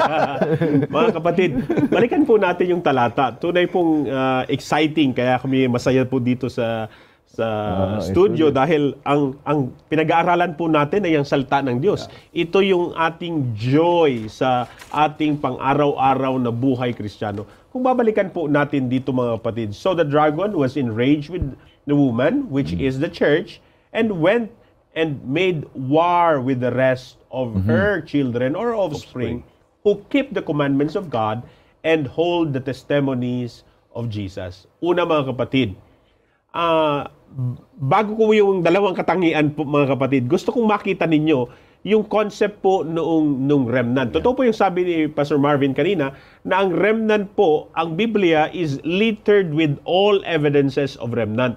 Marami pong mga Adventista ang akala po nila or mga Kristiyano o mga nag-aaral ng salita ng Diyos na ang remnant ay nandun lang sa huli. Hindi po hin or latak ito kasi remnant. huling-huli. Pero ang ang remnant po oy loipoi ah, sa salitang Grego, ito po ay may unique na kapahulugan na ito yung mga nalabi nga which is the remnant pero hindi po siya negative connotation. Kasi there is always God's people amidst apostasy or persecution. Makikita natin yan doon sa karanasan sa Old Testament. Mhm. So you have historical remnant, Yeah. ang sinasabi. You have the present remnant and you have the eschatological remnant. And you know mga kapatid, we believe that the Seventh-day Adventist Church, that there is that there is a church of Christ in the last days. And the Adventist Church fulfills these chara- characteristics based on Revelation 12:17. Ang sabi po, Pastor Ray ng talata ay silang mga ah, nagsisitupad ng utos ng ng Diyos. ating Diyos. Diyos. Sumunod po ay may patotoo ni Kristo. Ito pong patotoo ni Kristo ay isang kaloob na pinagkaloob ng Diyos na ito po ay ang espiritu ng propesiya. It's the spirit of prophecy is a continuum of the gift of prophecy. So, may araw po na Sabbath tayo na mas madidetail po natin ito, pero tingnan niyo po mga kapatid, yung concept noong overcomers or nung remnant. Doon sa seven churches, narinig na natin to. Sa seven churches, to those who overcome, to those who overcome, to those who overcome. Talagang inulit-ulit. Then, dito sa chapter 12, inihanda ngayon doon sa mananagumpay. At ito yung mananagumpay. Sa dugo ni Kristo, at silang nanagumpay sa dugo ni Kristo, may katangian sila. Sila ay nagsitupad ng utos ng ating Panginoon at may patotoo ng espiritu ng propesiya. Doon sa chapter 13 mga kapatid, bakit po mahalaga yung chapter 12 verse 17? Kasi ngayon, pagdating po nung chapter uh, 13, ito naman po yung yung nangyayari or mas kahayagan noong introductory verse noong 17. Kaya mga kapatid, yung leksyon natin itong buong quarter, wag po kayong magpapaliban. Dapat araw-araw sundan nyo po yung inyong mga Leksyon. Bible study guide kasama po ng pagbabasa ng salita ng Diyos. So yun po yung exciting nun. So we don't like to preempt anything pero hihimayin-himayin po natin yan unti-unti. But first, let's try to understand that those who are the remnant obeyed God's commandment and have the testimonies of Jesus which is the continuous gift of prophecy. So, pa, Pastor Ian, parang sinasabi mo kanina yung verse 11, may overcomer doon. Opo. Diba? Yung overcomer, ibig sabihin nito, ito yung remnant doon sa verse 17. Yes, sir. Uh, Mga kapatid, tingnan nyo, very, very exciting po itong pag-aaral po natin. Kaya ginagawa po namin ito para mahimay-himay ba? Oo. Na minsan kasi sa ating pag-aaral ng banal na kasulatan, yung bang ah, binabasa lang natin, but tingnan niyo po yung mga connection. That's Ah, nung mga connection po ito. Kaya nga sabi ni Pastor Ian kanina, yung ah, 17, ito ay jumping board doon sa 13. Eh doon sa doon sa chapter 13, may mga tao din na hindi na markahan. 'Di ba? Doon at Na- hindi nagtagumpay. hindi sumampalataya doon sa sa hayop. Hayop. Mga minamalang kapatid, ito yung mga concept ba ng, ng remnant. Kaya very, very exciting. Ngunit tandaan po natin, yung mga nalabi, ito yung mayroong ah, sa kanilang buhay, yung pagsunod sa kautusan, ay ito ang kanilang ikinabubuhay. Kasi ito yung transcript ng ating Panginoong Jesus. Kaya mga minamalang kapatid, ah, yung pong ah, transcript ng Panginoon, ito yung manifestation ng kanyang karakter. Amen. At ito ang distinguishing mark, yung remnant. At hindi lang yon mga minamalang kapatid, yung yung yung pananampalataya. Anong yung pananampalataya, ito mga minamalang kapatid ay buhay na pananampalataya. Whatever comes sa ating buhay, nandun pa rin tayo na matatag na kumakapit sa ating Panginoong Hesus. Kaya nga, yung remnant, mga minamahal kapatid, pag titingnan po natin, the remnant is loyal to Christ. Matapat sa Panginoon. Ano man ang mangyari sa buhay nila, ano man ang pagdaanan diyan, ah, mayroong mang sakit, ah, may problem, may kamatayan, and so on, but they will still remain loyal to Christ. At hindi lang po yon. They are obedient to the truth. Amen. Loyal sa, sa Panginoon, obedient to the truth. Whatever comes in their way, ito yung katotohanan, paninindigan nila na ito yung katotohanan. Na, mga minamahal na kapatid, ito yung pananampalataya ng remnant church. At hindi lang yon, ang remnant church, they are faithful to the mission. Kaya nga, ito ay unang bahagi pa lang ng ating uh, discussion mga minamahal na kapatid. But the remnant church, dito po ibinigay yung mensahe ng tatlong anghel. At makikita nyo mga minamahal na kapatid, yung ah, pagsama-sama itong ating pag-aaral. So the remnant church, they are not only loyal to God, they are also obedient to the truth, and at the same time, faithful to accomplish the mission of Christ na ibigay doon sa kanila. At yun mga minamahal na kapatid, bahagi ako, bahagi kami, bahagi ka rin kapatid na nanonood ngayon. Na bahagi tayo doon sa remnant na kung saan yung affection ng Panginoon ay ito ay ibinigay. Kaya't maging matapat po tayo sa Kanya. Pastor Ray? Maraming salamat, Pastor Marvin. Nasabi na natin yung ah, tatlong punto na mahalaga dito, mga kaibigan at mga kapatid, na tayo unang-una ay nakapasok sa malaking tunggalian. Nang malaking tunggalian na ito ay wala na tayong ibang ah, gagawin, kundi pipiliin natin ang Panginoong Yesus upang tayo po ay magwagi na hindi talunan sa lahat ng mga tukso at kahirapan sa buhay. Pangalawa dito ay tatawagin tayong ah, magtatagumpay, overcomer, kung manatili tayo kay Jesus at mabuhay kagaya ng kabuhayan ng ating Panginoon Jesus na may katwiran at kabanalan.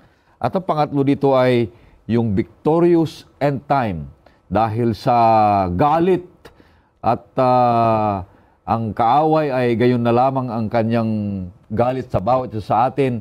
Kung tayo ay manatili kay Kristo Jesus, may papakita natin yung dalawang katangian ng remnant na ito na tayo, ikaw at ako, ang remnant na tinutukoy na may dalawang katangian dyan. Patuloy tayong ah, tumupad ayon sa pag-ibig, tumupad sa ating Panginoong Yesus ang kanyang mga kautusan at ah, ganun din may patutuo kay Jesus at may idinagdag si Pastor sa atin. Ano?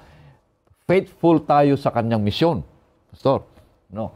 Faithful tayo sa kanyang misyon. At ang misyon na yan ay utos din ng Panginoong Yesus na tayo ay makibahagi sa kanyang gawain. Kaya kaibigan, nawa ang ating Panginoong Yesus ang laging ah, nasa buhay ng bawat isa sa atin para tayo ay tawaging magtagumpay. Hindi lang dito sa buhay na may kahirapan, may tukso, kung anumang mga pagsubok na darating sa atin ay tayo ay tawaging overcomer. Hindi tayo talunan, kagaya ng kaaway. Ngunit ah, kahit ganyan pa man, mga kapatid, tayo ay magtatagumpay dahilan sa ating Panginoong Yesus na nabayubay sa cross ng Kalbaryo. So sa ating pagtatapos, kung mayroon pa tayong mga huling ah, mga last words, Pastor Ian? Maganda po ang talagang mag-aral tayo ng salita ng Diyos. ang isa pong ah, gusto ko pong ibalik sa inyo mga kapatid is ah, we have overcome because Jesus has overcome. And napakaganda po yung lamb na ito na picture sa Re- Book of Revelation. Remember, yung lamb po na to is the one that stands in Mount Zion. It's a picture of the victory of the lamb. And then God's people is pictured as they who has or sorry, they that follow the lamb wherever he goes. So ibig sabihin mga kapatid, ang ating buhay ay may pananagumpay sa ating Panginoong Hesus. Pero ito'y hindi simpleng pananagumpay, kundi ito ay pagsuko ng ating buhay sa Kanya by accepting the death of Jesus Christ as our salvation, we need to accept it, believe it, we need to live it, and we need to surrender our life to the Lordship of the Lamb. Amen. Yun po ang isang magandang nakita ko po. Dahil sa pananagumpay ni Jesus na dinadala ngayon ng mensahe ng aklat ng Apokalipsis, may pananagumpay po pala tayo ngayon. Amen. Yun po ang masarap at gusto kong ibahagi sa ating mga ah, ginigiliw na taga-subaybay. Maganda po pag titignan po natin. We have nothing to fear in the future. Because if we trace back, ang Panginoon, siya na ang nanagumpay. Siya ang nanagumpay. Kaya nga, mga minamahal na kapatid at mga kaibigan, nakita po natin that if we study the book of Revelation, we have we have the foretaste of heaven. Yun ang sabi ni Oo. Miss White. eh. Yun, may foretaste po tayo. Kaya, the, the book of uh, Revelation, ipinapakita po sa atin dito that Jesus is the one who wins in the battle. At hindi lang po yan, lahat yung mga sumunod sa Kanya, they will have also the victory under the banner of the blood of our Lord Jesus Christ. Kaya nga't mga minamahal na kapatid, ay tutunan po natin na in our day-to-day na pamumuhay, bagamat we are involved in the great controversy drama, tandaan po natin, ang pagwawagi ay yung ating pagpapasakop ang ating buhay sa Panginoong Jesus. Maraming salamat, kaibigan. Ang katiyakan ng pagtatagumpay at pagwawagi sa lahat ng mga kahirapan, tukso at pagsubok dito sa balat ng lupa. Ang labanan ay hindi natin maiwasan. Piliin mo lang ang matagal nang nagwagi, ang kordero ng ating Panginoong Heso Kristo upang patuloy kang magwagi at magtagumpay hanggang iuwi tayo ng ating Panginoong Yesus sa langit na bayan. Bago tayo magtapos, makarinig po tayo ng isang awitin at uh, hingin natin si Pastor Marvin sa uh, panalangin.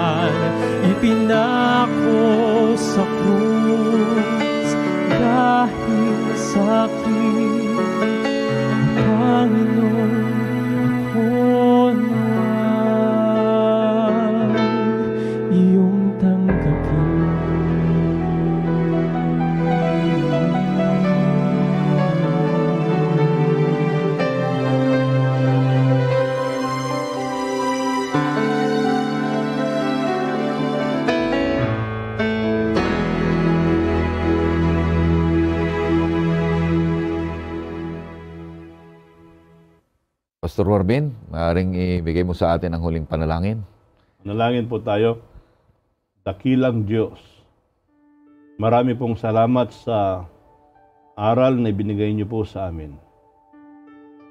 At sa pamamagitan ng iyong dugo, mm. kami po ay nagkaroon ng kaligtasan. Mm.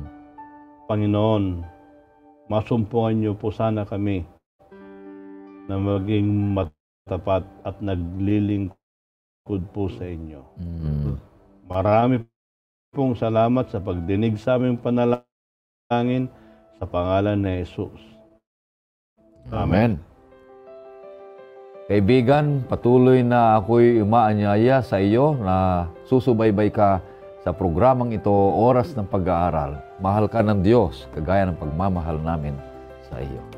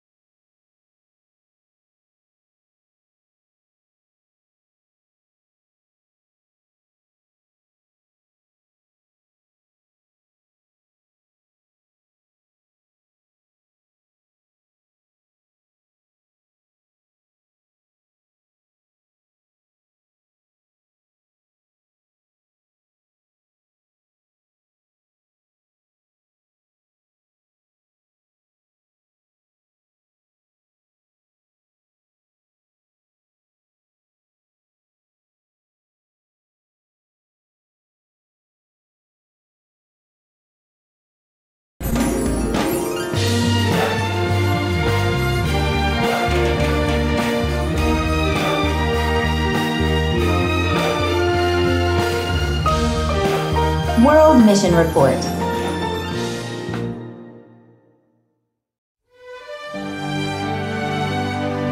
Mahai grew up in a structured family that taught him to be polite, to not use bad language, to not drink or do drugs. And he followed these examples and tried to find friends who also had these same habits, but it was very difficult to find people like that. Mahai was an engineer at a local coal mine in Romania, and the workers there swore and drank a lot. Even in the church he attended on Sundays, people cursed and drank alcohol. After some time, Mahai stopped going to church, and at work, he held fast to the principles his parents had taught him. Due to his different lifestyle and work ethic, he worked for years in the same company and became the director of that firm. After a successful career, Mahai retired and looked forward to enjoying his prime years. But two weeks after he retired, he suffered a massive stroke and was hospitalized. After a while, he returned home and started doing exercises to regain movement in his arms and legs. A neighbor named Gabriel saw his efforts and began to pray for him in secret. Three weeks afterwards, Gabriel went to Mahai's house and invited him to an Adventist Bible study group. Mahai accepted and went to the small group. There, he found polite people who didn't swear or drink. Through this small group, he discovered the love of God, and today he can hardly wait until he's physically fit to be baptized. Mahai regrets his health problems, but he doesn't complain because he can get to know more about God and his love during this period. Schools are an important part of the way Adventists in Romania share the biblical message. Therefore, part of this quarter's offering will go to build a new school and extracurricular educational center in Romania. Let's give generously.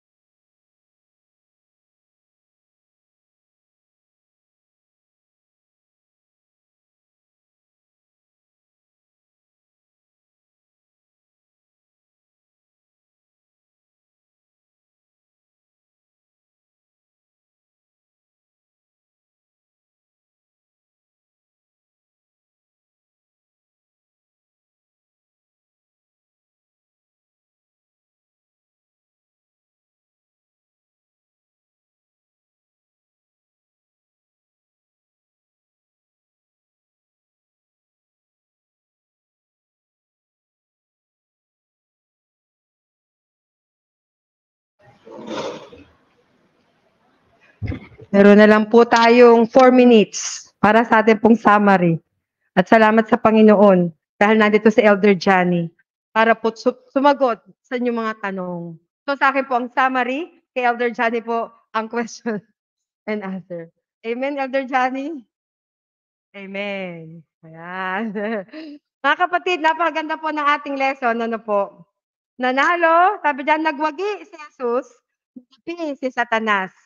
So, kanino pa tayo, kanino tayo papanig? Hindi ba? Siyempre tayo ay lagi doon sa panalo. Balikan po natin yung ating pong memory text na nasa masasumpungan sa mga sa Apocalypse chapter 12 verse 17. Basahin po natin. Nagalit ang dragon sa babae at umalis upang digmain ang nalabi sa binhi ng babae, ang mga tumutupad sa mga utos ng Diyos at ang mga may patotoo ni Jesus. Doon pa lang mga kapatid sa ating pong title na nagwagi si Jesus, nagapi si Satanas, ito po ay nagpapatunay lamang po pong nagkaroon ng digmaan sa langit. Kaya nga ang tanong sa atin marahil sa mga group natin kanina, paano nagkaroon ng digmaan sa isang perpektong lugar? Pero nangyari na eh. Nangyari na po na nagkaroon ng digmaan. So ibig sabihin, mayroong dalawang puwersa. Hindi po yun physical na digmaan, pwedeng mental na digmaan, pwedeng verbal na digmaan, pagsasagutan, at pagpaparatang. Kanino nagmula? Wala pong iba kundi si Lucifer. Sabi, sabi po sa Ezekiel chapter 28, verses 14 hanggang 16. Atin pong basahin ang mga talatang ito upang ipakilala sa atin sino ba si Lucifer at papaanong siya mismo ang pinagmulan ng isang puwersa. Ezekiel chapter 28 verses 14 up to 16. Sabi po dyan, ikaw ang pinahirang kerubin na tumatakip at itinatag kita sa anupat na anupat ikaw ay nasa ibabaw ng banal na bundok ng Diyos. Ikaw ay nagpanhikmanaog sa gitna ng mga batong mahalaga. Verse 15. Ikaw ay sakdal sa iyong mga lakad mula sa araw na ikaw ay lalangin. Dahil nga po perfect ang langit, perfect naman talaga lahat ang nilikha ng ating Diyos. Si Lucifer, mga kapatid, ay perfectly made. Siya perfect talaga, sakdal siya. Hanggang sa ang kalikuan ay nasumpungan sa iyo. Kailan nangyari yon? Nang magkaroon sa puso niya. Dahil ang ating pong puso, mga kapatid, ay deceiving. Ito po ay nangliling lang sa atin, mapanling lang. Simula na ang puso ni, ni Lucifer ay nag-imbot sa bagay na wala sa kanya. Hindi siya nasiyahan sa kanyang posisyon sa langit, sa kanyang karilagan, sa kanyang kagandahan, hindi siya nasiyahan doon.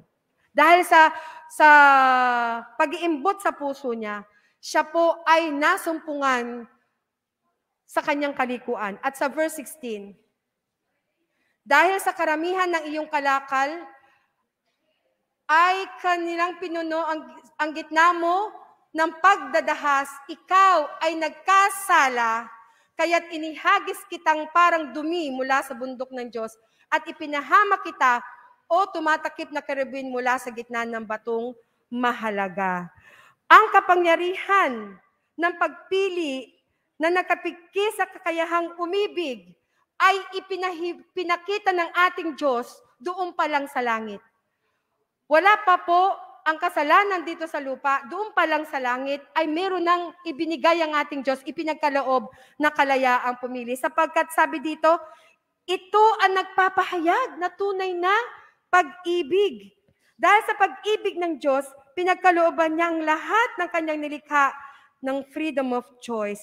At ito ay isang sagradong regalo, sabi nga po ng Tita Edge kanina sa family time, isang sagradong regalo na dapat po nating pahalagahan. Kung tayo po ay niregaluhan ng mahal natin sa buhay, Hindi ba pinapahalagahan natin yon? Ni ayaw nating magasgas, ni ayaw nating maka, makanting o pahawak natin sa iba.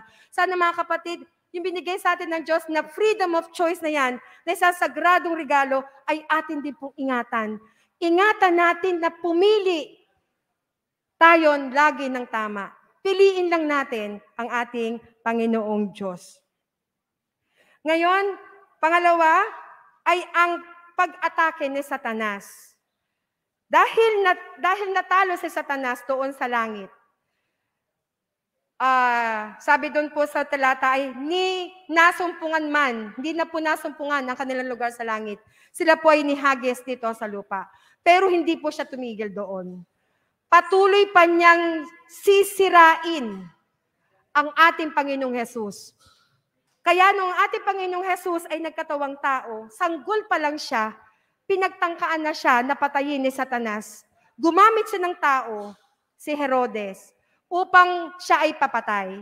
Subalit siya po ay nabigo.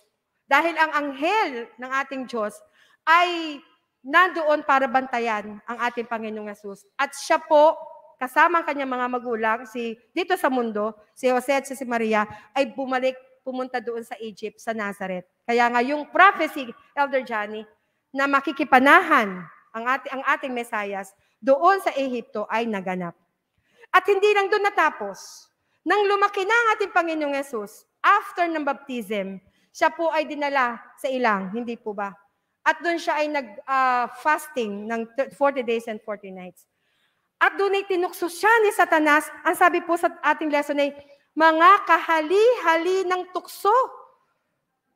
Na yun din po ang ginagamit sa atin sa kapanahunan natin. Ano-ano po tatlong tukso na yon? Lust of the flesh, nang sabihin ni Satanas na gawin mong tinapay ang bato dahil ang ating Panginoong Yesus ay gutom na gutom. Pangangailangan ng kanyang katawang lupa ang pagkain. Doon siya tinukso. Lust of the flesh. Nagtagumpay ang ating Panginoong Yesus? Yes po. Two, lust of the eyes. Nagdalhin siya doon sa tuktok at ipinakita niya yung lahat ng mga ka- kayamanan dito sa lupa. Ang sabi ni Satanas, iyang lahat na yan ay magiging sayo. Lumuhod ka lang at sambahin mo ako. Mga kapatid, ibinibigay ng, ng, ng kaaway ang magagandang mga bagay para tuksohin ang ating Panginoon Jesus. Nagtagumpay ba si Satanas? No. Ang sabi ng ating Panginoon Jesus, sapagkat nasusulat. At pangatlo, pride of self. Dinala siya sa tuktok at sabi, magparitira pa ka dyan. Di ba merong ah, pangako ang Diyos na iingatan ka ng kanyang mga anghel at kikilalanin ka. Yan ang ah, pride of self. So yung tatlo na yan mga kapatid ay ginagawa ng kaaway. Ginawa niya kay sa ating Panginoong Yesus at patuloy niyang ginagawa sa atin sa panahon natin. At hindi siya nagtagumpay laban sa ating Panginoong Yesus. So, hindi lang sa langit nagtagumpay ang ating Panginoong Yesus, maging dito sa lupa. At di na po natapos doon. Sabi ko nga kanina doon sa aming group, never say die talaga itong si Satan. Hindi talaga siya titigil. Hindi niya tatantanan ng ating Panginoong Yesus. Doon sa cross, sa cross ng Kalbaryo, hindi niya pinalagpas ang pagkakataon niyang tuksuhin ang ating Panginoon Jesus na kung ikaw ay tunay na anak ng Diyos, bakit hindi mo tawagin ang mga anghel para ikaw ay iligtas? Sino nagsasabi noon? Yung mga tao na mismong nagsasabing sila'y mga anak ng Diyos, sila'y kumikilala sa Diyos. So, nagtagumpay po ba si Satanas? Sabi ng ating Panginoong Yesus, it is finished. Natapos at siya ay nalagutan ng hininga. So, natapos ng ating Panginoong Yesus ang kanyang mission na iligtas tayo sapagkat nang matapos ang digmaan sa langit, nagpatuloy ang battle dito sa lupa, tinukso niya si, si Eva at si Adan, natalo si Eva at si Adan. Pero ang plan of redemption ay naroon. Kaya ang ating Panginoong Yesus ay, ay nagkatawang tao, nagtungo siya dito sa lupa para magkatawang tao at mamatay, para ang kanyang dugo mismo ang siyang itutubo sa ating mga kasalanan. At nagpapatuloy ang battle, ang pag-atake ni Satanas. Dito, sa mga, sabi ng ating memory text kanina, sa mga binhi ng babae. Sino pibinhi ng babae? yung mga nalabi. Sino po yung mga nalabi? Tama, si Sister Netnet. Ang mga tumutupad or sumusunod sa utos ng Diyos at may patotoo ni Jesus. So sino pong iglesia yon? Ang ating iglesia. At kaya tayo naririto sapagkat nananampalata tayo, naniniwala tayo na tayo yung nalabi na yon. Yung po bang nalabi ay marami or kokonti? Kokonti sa bilang. At kung ating po ipagpapatuloy, bago ko po banggitin tungkol sa nalabi, ay dumanas na po ang mundo sa napakalaking pagsubok na, ginag- na pag-atake ni Satanas. Ito po yung naganap noong Dark Ages. Yung sinasabi po dito sa Apocalypse 12.6 na 1,260 days. Marahil mamaya, hilingan ko si Elder Johnny, kung may, pag, kung may time pa, ay maipaliwanag ito. At kung wala na, ay lapitan na lang po natin siya. Yung pong nangyari between 538 AD hanggang 1798 kung saan ang mga Kristiyano ay inusig, pinarusahan, pinapa, pinatay, sinunog ang sinu, sinunog yung iba, pero ang ating Diyos, mga kapatid, ay naglaan ng ng ano, ng tulong. Ang sabi po doon sa verse sa verse 6, ang wika doon, at tumakas ang babae sa ilang na dooy siya'y ipinaghanda ng Diyos ng isang dako upang doon siya'y ampuning isang libong dalawang daan at anim na pong araw. Hindi tayo pinabayaan ng Diyos. Hindi pinabayaan ng Diyos ang kanyang mga lingkod nung panahon ng Dark Ages. Naghanda po siya ng kanilang uh, lililiman, ng kanilang pupuntahan upang sila po ay ma-preserve. Dahil kung di sila ipapreserve, sino magpapatuloy? Hindi po ba? Hindi sila magpapatuloy ng, ng kabutihan, ng pangangaral, para may malabi, para may mailik, ma, makarating, may, may mapag, uh, ano ba to? Para ang, ang bayan ng Diyos ay pagpatuloy sa kanya pong mission dito sa, sa sanlibutan. Tapos, dito po sa sa Nalabi, puntahan na po natin ang Nalabi. Uh, sabi po natin kanina ay kokonti. Hilingan ko nga po na ating basahin ang Matthew 7, verses 13 to 14. Dahil dito po ay napakagandang talata kapag pinag-usapan yung bilang ng maliligtas. Bilang na ng makakatagal. Bilang ng mananatiling tapat sa ating pong Diyos. Matthew chapter 7, verses 13 to 14. Ang sabi po dyan, kayo'y magsipasok sa makipot na pintuan, sapagkat maluwang ang pintuan at malapat ang daan patungo sa kapahamakan at marami ang dooy nagsisipasok. Verse 14. Sapagkat makipot ang pintuan at makitid ang daan patungo sa buhay at kakaunti ang nangakakasumpong noon. Dati-dati mga kapatid, kapag nadidinig natin ng talatang ito, ang pumapasok sa atin agad yung bilang ng tao na maaaring magkasya sa pintuang maluwang. Tama po ba? Pero ito po ay may mas malalim na implication na pagka maluwang ang iyong dadaan, pwede kang magbitbit ng mga luggages mo sa buhay mo. Pero pag makipot ang daan, wala kang po pwedeng bibitbitin. Hindi ba mga kapatid? Elder Chris, pag nagbitbit ka sa buhay mo ng maraming mga bagay, kakasya ka ba sa maliit na pintuan? No. Tatanggalin po nating lahat yan. Yung mga bagay sa buhay natin na nagiging sagabal, makakasagabal sa atin, makakapigil sa atin para magkasya tayo doon sa makipot na pintuan na yon. Doon sa makipot na pintuan na ang dulo ay buhay. Na kung ayaw po natin alisin yun sa buhay natin, saan tayo na pwedeng dumaan? doon sa maluwang na pintuan. Pwede po natin bitbitin doon kahit ilan, kahit ano. Pero ang dulo po noon ay kapahamakan. Kaya mga kapatid, sa sa paglalaban ng puwersa ng, ang, ng kabutihan ng ating Diyos, ng ating Panginoong Asus, at puwersa ng kasamaan si Satanas, tayo po ang pipili. Nasa atin po ang pagpili. Kanino tayo susunod? Sa ating Panginoong Asus na makipot ang daan o kay Satanas na maluwang ang daan. Makipot ang daan sa pagsunod sa ating Panginoong Yesus na ang dulo ay kabuhay na walang hanggan o kay Satanas na maluwang ang daan na kapahamakan at kamatayan ang dulo. Balikan po natin yung ating pong memory text bago po ako maupo. Ang sabi doon, ah, at nagkaroon ng pagbabaka sa langit si Miguel at ang kanyang mga anghel ay nakipagbaka sa dragon at ang dragon, ay sorry po, verse 17. At nagalit ang dragon sa babae at umalis upang bumaka sa nabi at kanyang binhi at siyang na siyang nagsisitupad ng mga utos ng Diyos at mga may patotoo ni Jesus. Sa dalawang mga katangiang ito, mga kapatid, manatili po sana sa atin, sa ating mga buhay, na tayo bilang mga member ng Seventh-day Adventist Church ay patuloy tayong sumunod, magsitupad, sumunod sa kautusan ng ating Diyos at patuloy nating dalhin ang patotoo ni Jesus. Alin po yung sinasabi ditong patotoo ni Jesus? Ang patotoo po ni Jesus na sinasabi dito ay yung buhay natin bilang mga Kristiyano. Nakikita po ba sa buhay natin ang buhay ng ating Panginoong Yesus? Nagiging testimony po ba tayo ng buhay ng ating Panginoong Yesus? Tayo po ba'y nagiging pagpapala sa ating kapwa? O tayo po ay kinatitisuran ng ating pong kapwa? So ating pong pamumuhay sa araw-araw, mga kapatid, ang, ang ating pong lesson ay dagdidiin na tayo po ay laging pumili. Piliin po natin na tayo ay nasa panig na ating Panginoong Yesus at tsak na tayo po ay hindi mapapahamak. Elder Johnny, baka meron ka pong idadagdag?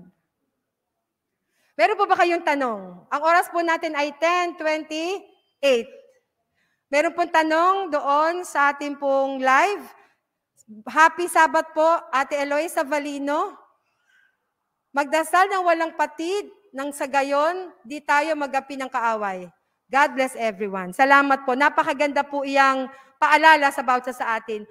Tayo po mga tao ay mahihina. Wala tayong pwedeng ipanglaban kundi ang prayer lamang.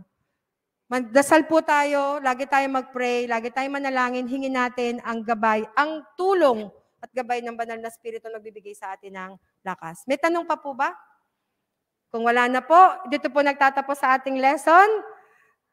Happy Sabbath po at pagpalain tayo ng ating Diyos.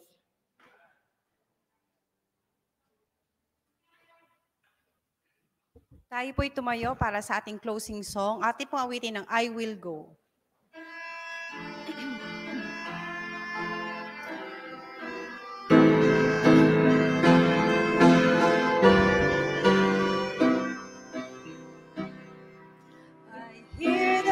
Voice of Jesus calling.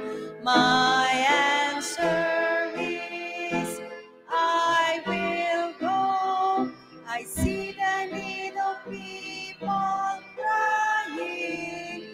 My answer is, I will go. I go to share the message of love. Share the blessed hope. But if I get discouraged, I call for Jesus' help because I have decided I will go. I hear the voice of Jesus calling. My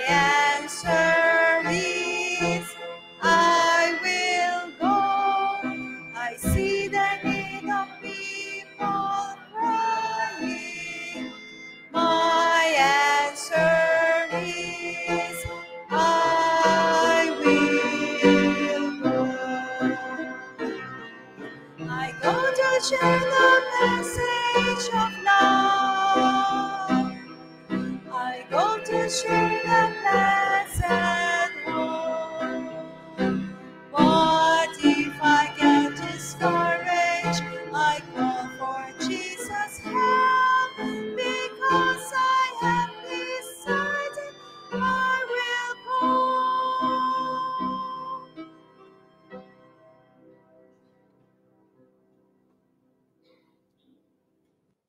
Tayo pa tayo sama-sama manalangin, dakilang Diyos na makapangyarihan sa lahat. Patuloy po kami, Amang, nagpupurit, nagpapasalamat dahil sa inyong kabutihan sa bawat isa sa amin. Sa kabila ng aming pinagdadaanan sa aming buhay, sa aming mga tahanan, ang mga pagsubok, Panginoon, na dumarating sa amin, ito ay aming napaglalabanan sa tulong at gabay ng banal na Espiritu. Salamat, Panginoon, sa iyong pangako. Nawa ang aming pakipagniig sa aming kaaway, kami ay magtagumpay sa tulong ng aming Panginoon. Ang aming pamilya, ang aming mga anak at mga apo, sana'y patuloy namin Panginoong maakay sa katotohanan na inyong ipinagkatiwala sa bawat isa sa amin sa tahanan. Nawa Panginoon, ang patnubay nawa ng banal na Espiritu ang laging sumaamin. Ito po ang aming dalangin sa pangalan ni Jesus. Amen.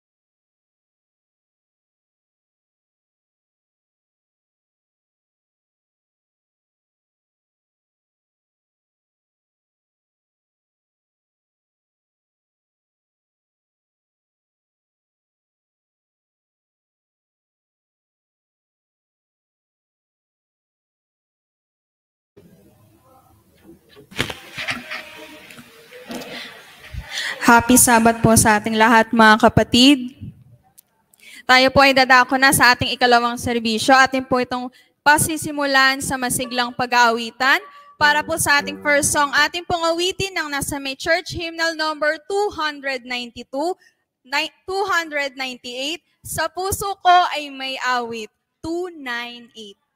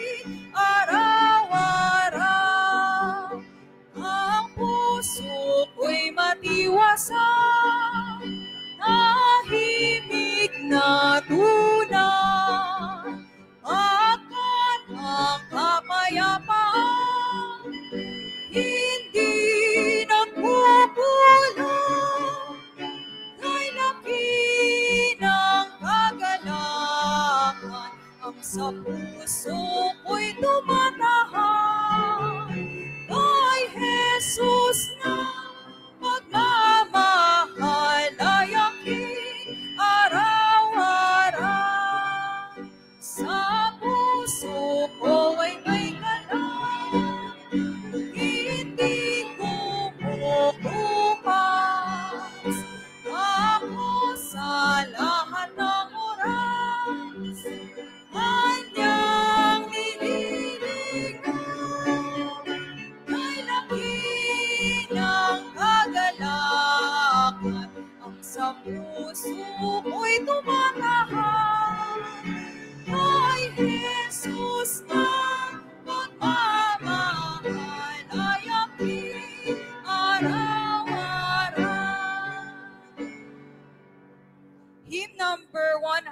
174, nais mo bang sasalay maligtas? 174.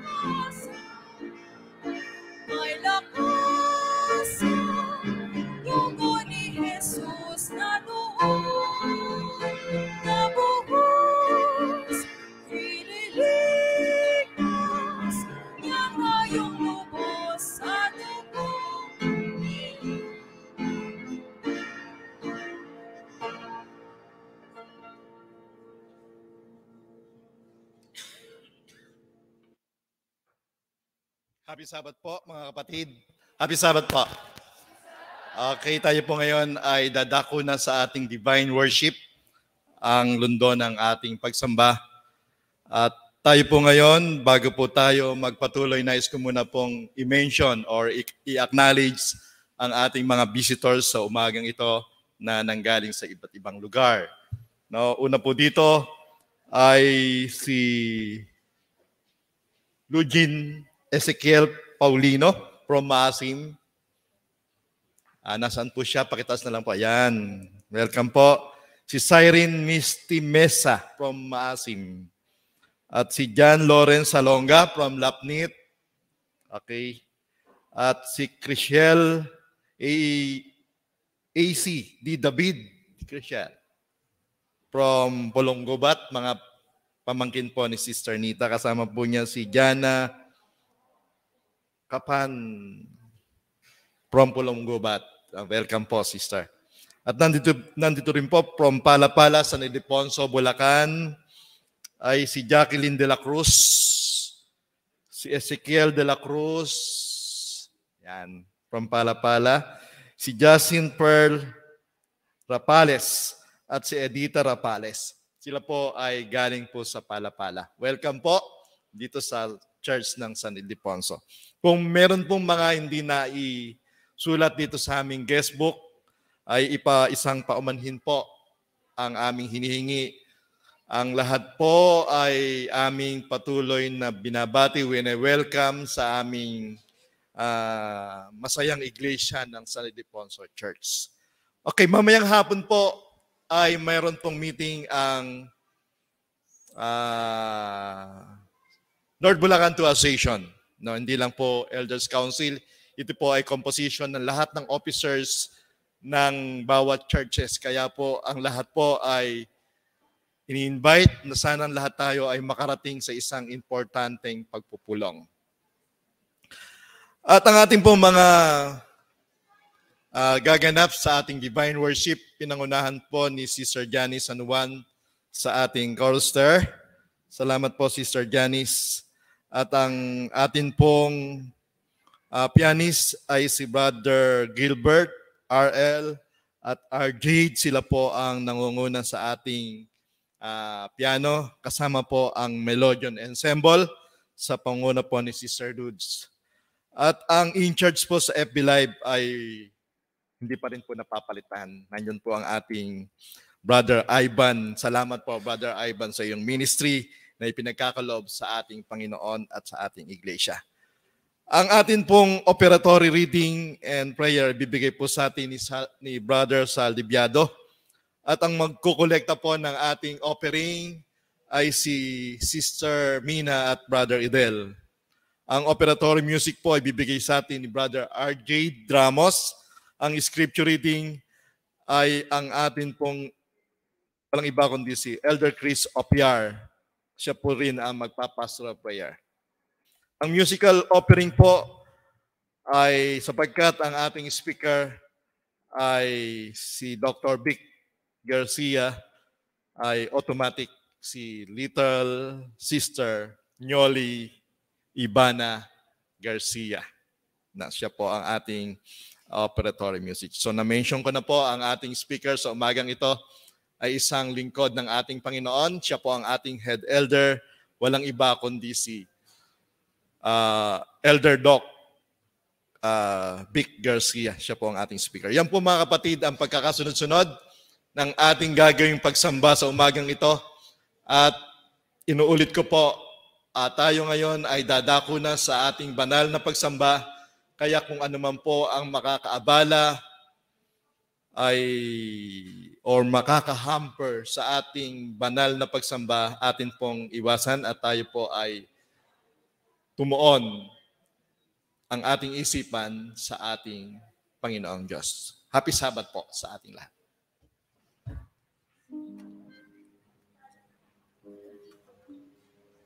Holy, holy, holy. Tayo po ay sama-samang tumayo.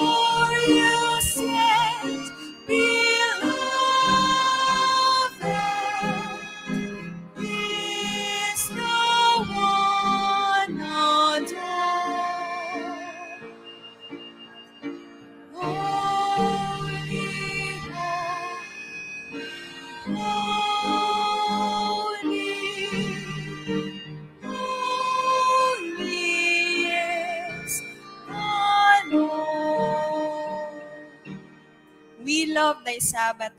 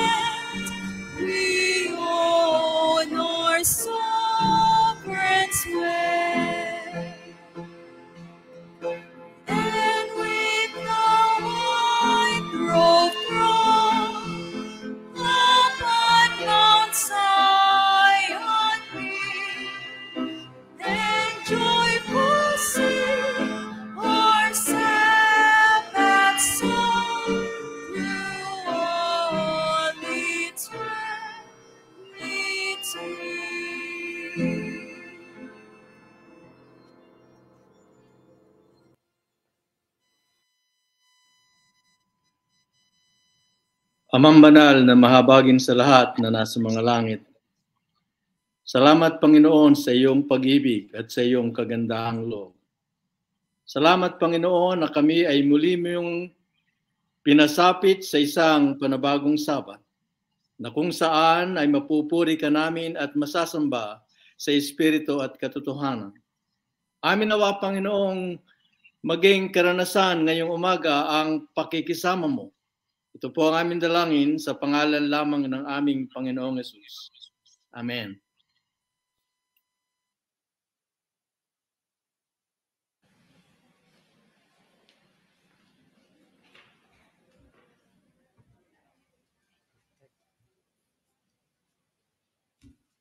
Bago po natin likumin ang ating pong ikasampung bahagi at handog ay babasahin ko muna sa inyo ang nasa 2 Corinto 9, 6 hanggang 7. Itong, ito ang ibig kong sabihin. Ang naghahasik ng bahagya ay maghahasik din, ay mag-aani rin naman ng bahagya. At ang naghahasik ng sagana ay mag-aani ng sagana. Ang bawat isa ay magbigay ayon sa pinasya ng kanyang puso, hindi mabigat sa kalooban o dala ng pangailangan, sapagkat iniibig ng Diyos ang nagbibigay ng masaya. Ating pong lilikomin ang ating pong sampung bahagi at mga ano.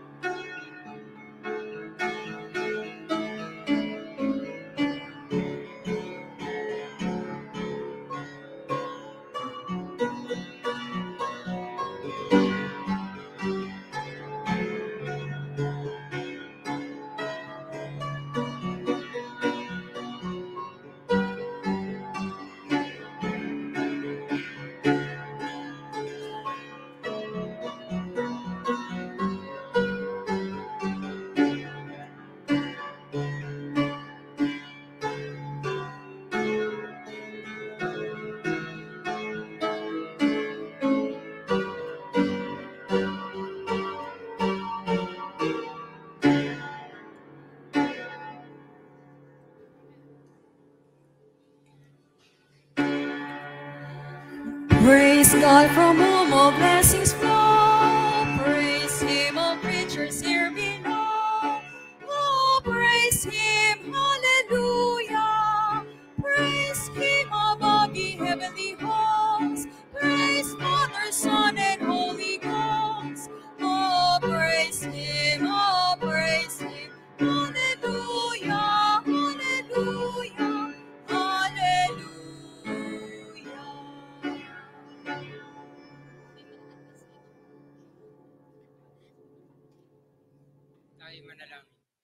Dakilang Ama ng makapangyarihan sa lahat, maraming maraming salamat Panginoon sa patnubay niyo sa amin sa buong isang linggo na nakalipas na kami po inyong iningatan.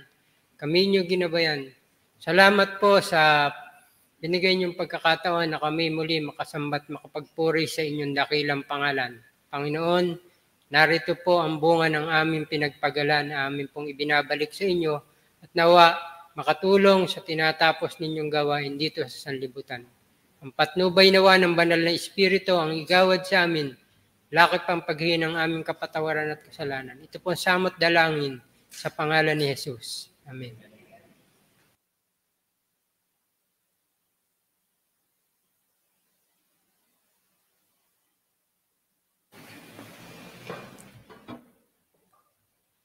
Hymn number 136, Walhatiin si Jesus, 136.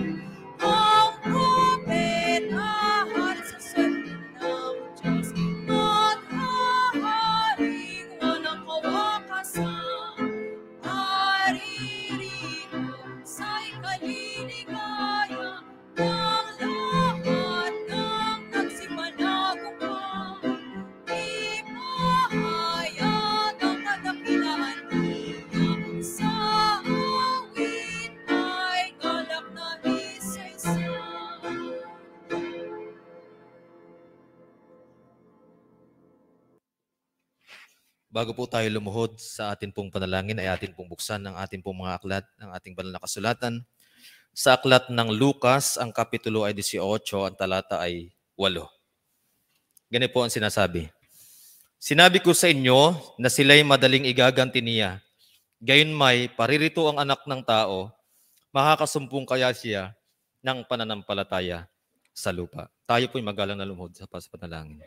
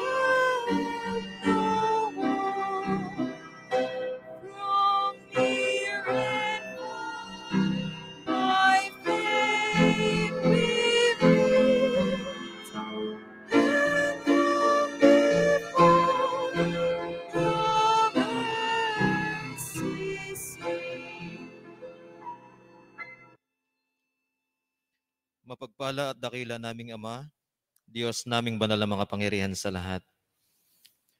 Diyos na nagmamayari ng aming buhay. Diyos na naglalang ng langit at ng lupa. Diyos na nagbibigay ng lahat ng aming pangangailangan. Kayo po, nakilang Diyos, ay aming pinupuri at sinasamba sa oras na ito. Panginoon, patawad po sa mga pagkukulang at mga pagkakasala na aming nagawa sa inyo sa loob ng isang linggo. Nakilang Ama, hindi kami karapat-dapat sa pagsambang ito kung hindi niyo po kami lilinisin sa aming mga kasalanan. Kaya dalangin ng bawat isa sa amin, nakilang Diyos, ng bawat isa inyong linisin, magkaroon nawa ng kabuluhan at halaga ang Diyo, ang iyong dugo na nabuhos sa krus ng Kalbaryo para sa kasalanan ng bawat isa sa amin. Ama, maraming maraming salamat po sa buong isang linggong lumipas sa aming buhay na kami, Panginoon, ay nakaranas ng walang hanggang pag-iingat sa lahat ng aming ginawa, kayo, Panginoon, ang nanguna. Salamat dakilan Diyos sa inyo pong patuloy na pagbibigay ng mga pagpapala. Siyang aming patuloy na naggamit sa aming buhay araw-araw. Maraming salamat dakilan Diyos sa inyong patuloy na pagbibigay sa amin ng kalusugan ng pangangatawang pisikal. Kung kaya kayo dakilan Diyos ay nagkaroon ng pagkakataon na humarap at sumamba sa inyo ngayong umaga. Dakilan naming Ama, inilalapit po naming patuloy Nanaway kami, dakilang Diyos, sa inyong lukubin na iyong Santong Espiritu sa umagang ito, na magkagayon kami makinabang sa mensahe na nais niyong ipaabot sa amin ngayong umaga sa pamagitan ng inyong lingkod. Especially namin dinadalangin ang inyong pong tagapagsalitang sinugo sa aming ngayon sa pamagitan ng teknolohiya sa kabila, Panginoon, na siya ay malayo sa amin. Kayo, Panginoon, ang Diyos ng karunungan na siyang gumagamit ng mga bagay upang ito'y maging kapakipakinabang sa kilalago ng bawat pananampalataya ng bawat isa. Idadalangin po namin siya sa inyo na kayo siyang Panginoong manguna sa Kanya. Ibaba, Panginoon, ang inyong banal na espiritu. Ipuin siya ng inyong pong karunungan ang lahat ng kanyang sasabihin ay maitaas ang pangalan ng aming Panginoong Diyos at hindi ang kanyang sarili. Itago po sa dakilang Diyos sa kalwalhati at kaliwanagan ng inyong anak na si Jesus na magkagayon kami na nakikinig ay magkaroon ng kapakinabang, na magkaroon ng pagkakataon na makita ang aming sarili na kailangan namin ng aming Panginoong Hesus upang kami, Panginoon, ay magkaroon ng karapatan sa buhay na walang hanggan. Idinadalangin din namin ang inyong pong mga anak, ang aming mga kapatid na hindi nagkaroon ng pagkakataon na pumunta sa bahay sambahan upang sambahin kayo. Kayo dakilang Diyos na kababatid ng kanila pong kalagayan at mga kalooban. Dalawin sila ngayon sa magitan ng imbal na Espiritu Makinabang sila sa araw ng sabat na kapahingahan na ipinagkalob nyo sa amin, sabat na ginawa mong banal para sa iyo at para sa amin bilang tanda na kayo ay aming manlalalang at kami inyong nilalang. Dakilan Diyos, maraming salamat sa patuloy na pagtugon sa kahilingan at dalangin ng bawat isa sa pangalan po ng aming Panginoong Hesus. Amen.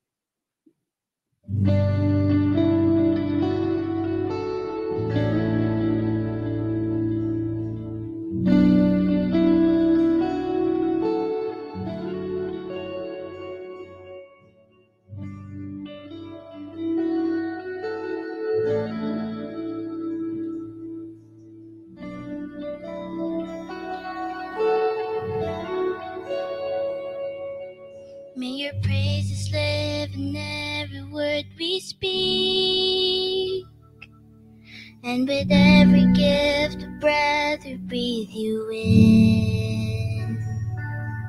All the works you have done consume our hearts.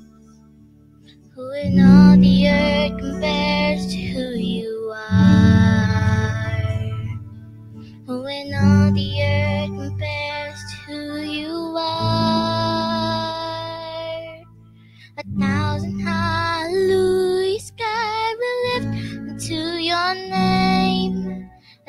thousand hallelujah sky will lift up once again. All creation lifts its voice declaring till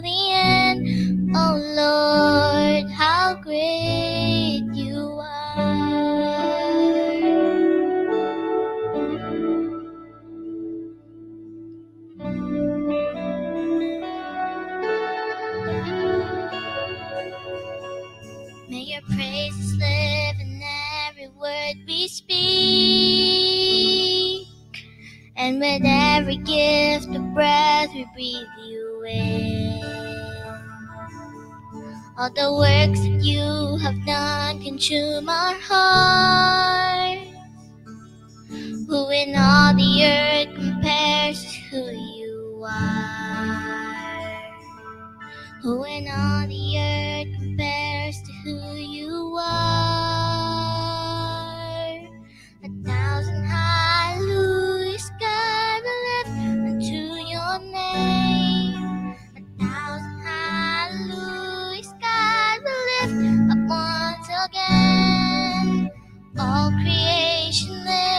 voice declarative.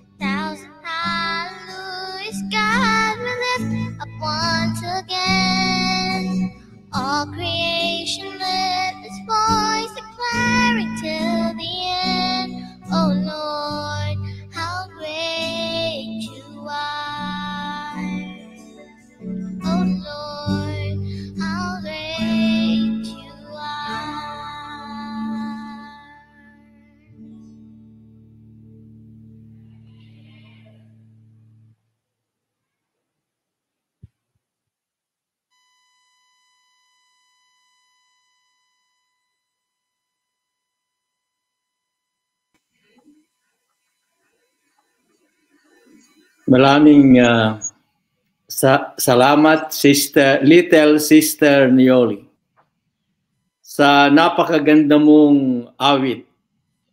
Hindi lang awit kundi pati yung diwa ng awit. Tunay na ang ating Diyos ay dakila. Dahilan sa siya ang siyang lumika ng lahat ng bagay. At siya ang may akda ng ating buhay.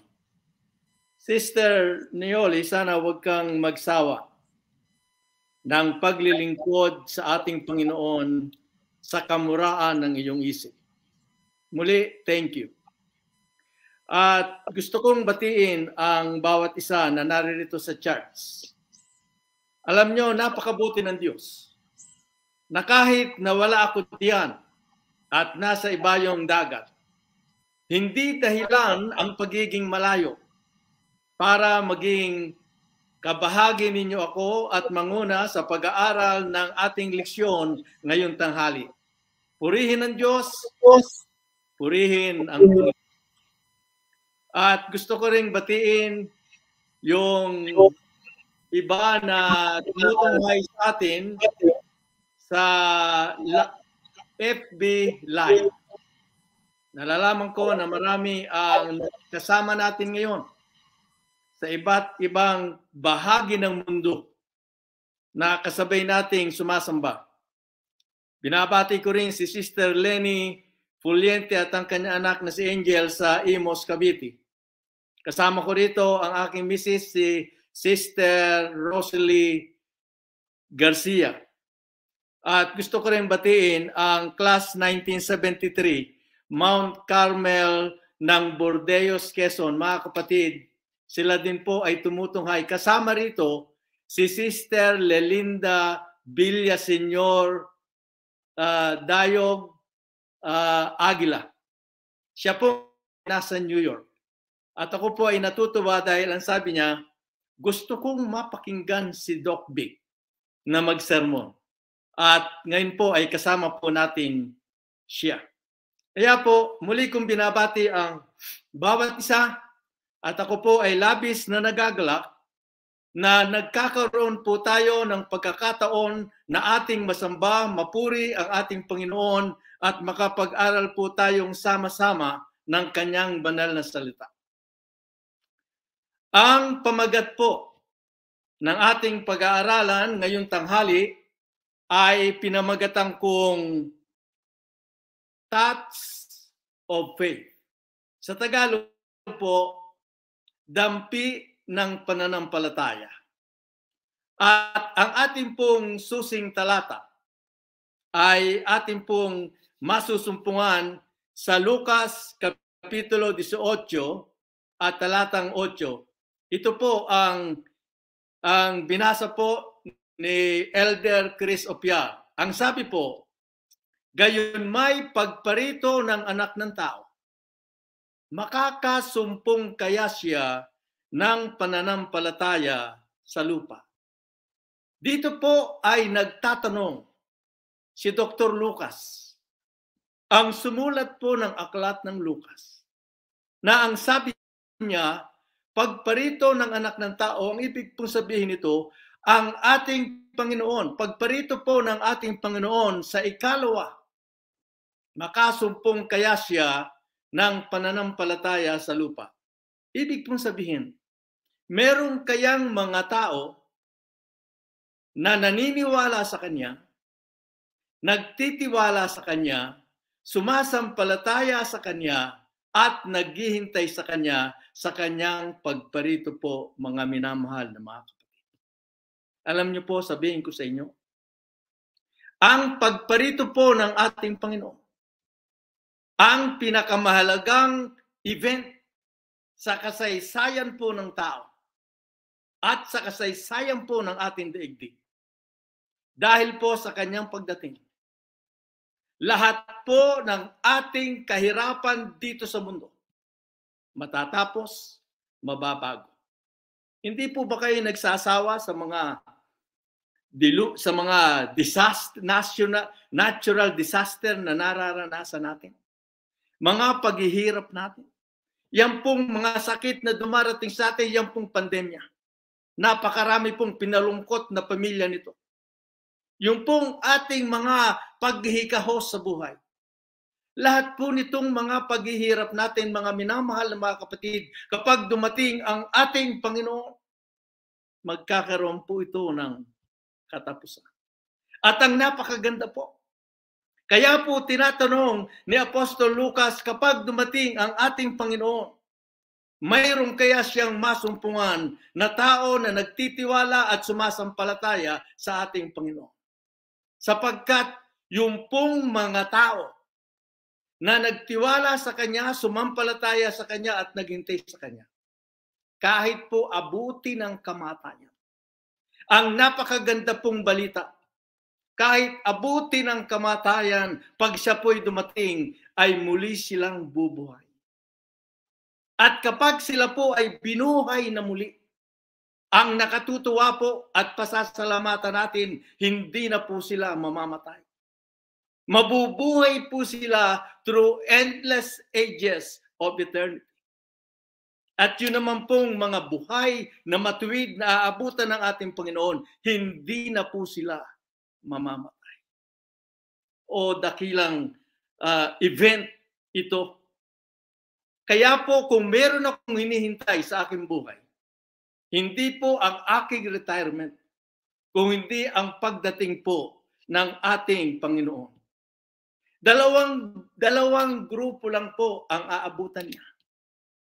Yung pong isang grupo, yung pong masasama na patay, hindi po sila bubuhayin yung pong masasamang buhay, sila pong lahat ay mamamatay.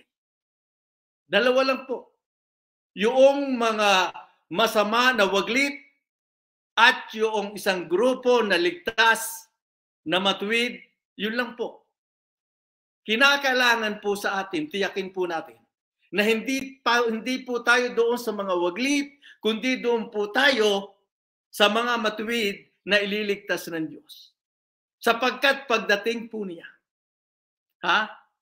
Tayo po ay dadalhin doon sa langit. We will enjoy for 1,000 years na nakasama natin siya.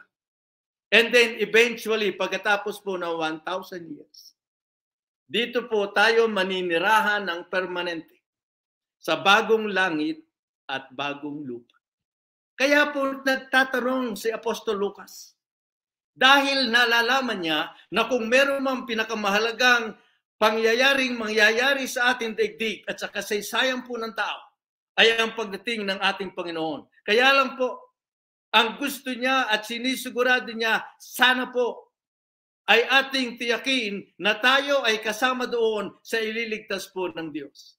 Dahil yun lang pong sumasampalataya, yun lang pong nagtitiwala sa Kanya at iyon lang pong naghihintay sa kanya ang kanya pong ililigtas. Kaya po, ito po ay isang napaka, napakahalagang paalala po sa atin saan kaya tayo mabibilang kapag dumating ang ating Panginoon. Sana po doon sa grupo na sumasampalataya sa Kanya at naghihintay sa Kanya. Alam niyo po, gusto kong ating makita nasa Biblia po, kahit po sa panahon ng ating Panginoong Yesus, ay meron pong mga kasaysayan na mga lalaki at mga babae na nagpapakita po sa atin kung gaano kaiba at katunay at wagas ang kanilang pananampalataya.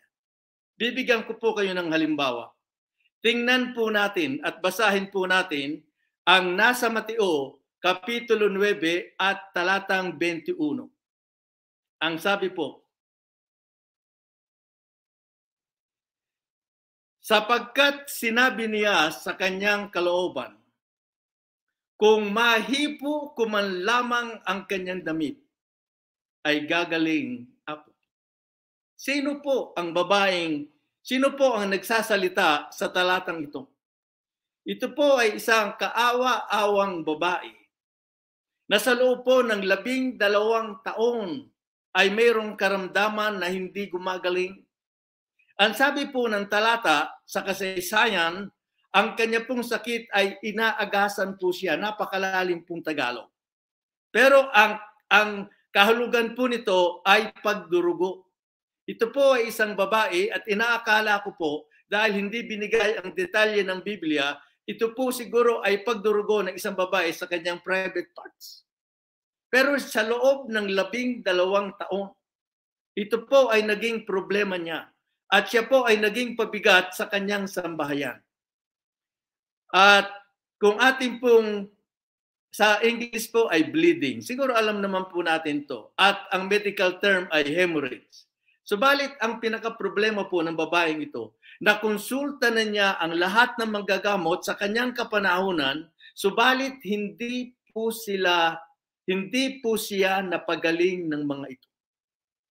Naupos po niya ang lahat ng kanyang mga ipon, ng kanyang mga salapi, Nabili na rin niya siguro ang lahat ng mga gamot na prescribe sa kanya. Subalit, wala pong naging pagbabago at lalo pa pong lumala. At ang pinakamalungkot po sa kanya ay nang sabihan siya ng mga manggagamot na ito na hiwala na siya pong kagalingan.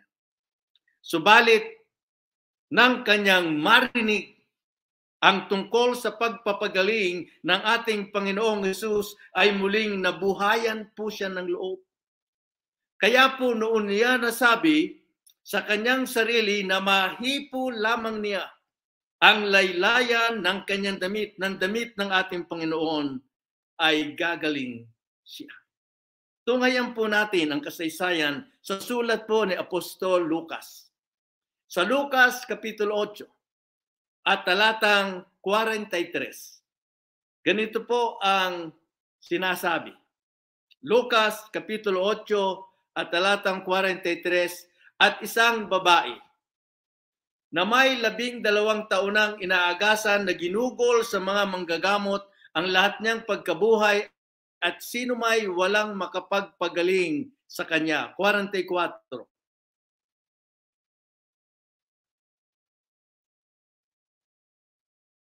Ay lumapit sa kanyang likuran at hinipo ang laylayan ng kanyang damit at pagdakay na ampat ang kanyang agas.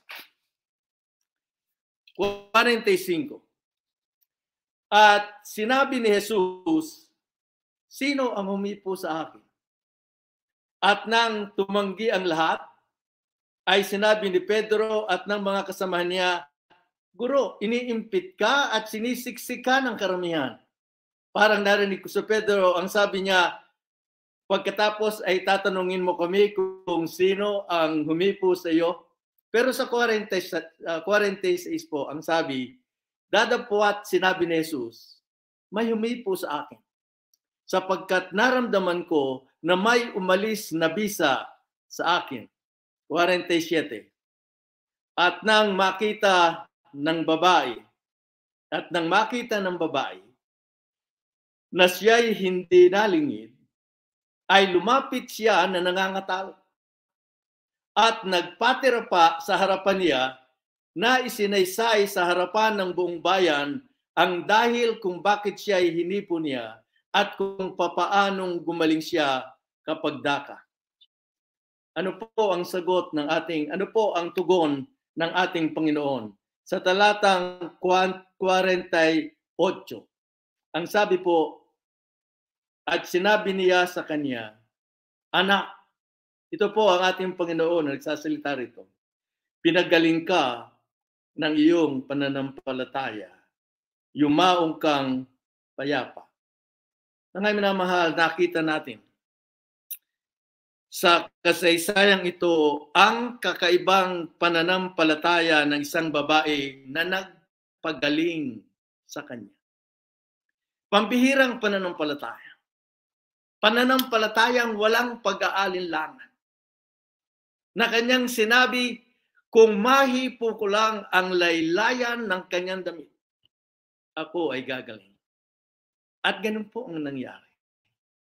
Alam nyo mga kapatid, sa ibang tala ng Biblia ang sinasabi, sinabi ng ating Panginoon, kung tayo'y mayroong pananampalatayang kasing laki ng butil ng mustasa, ay kaya nating pakilusin, isugbo sa dagat ang bundok.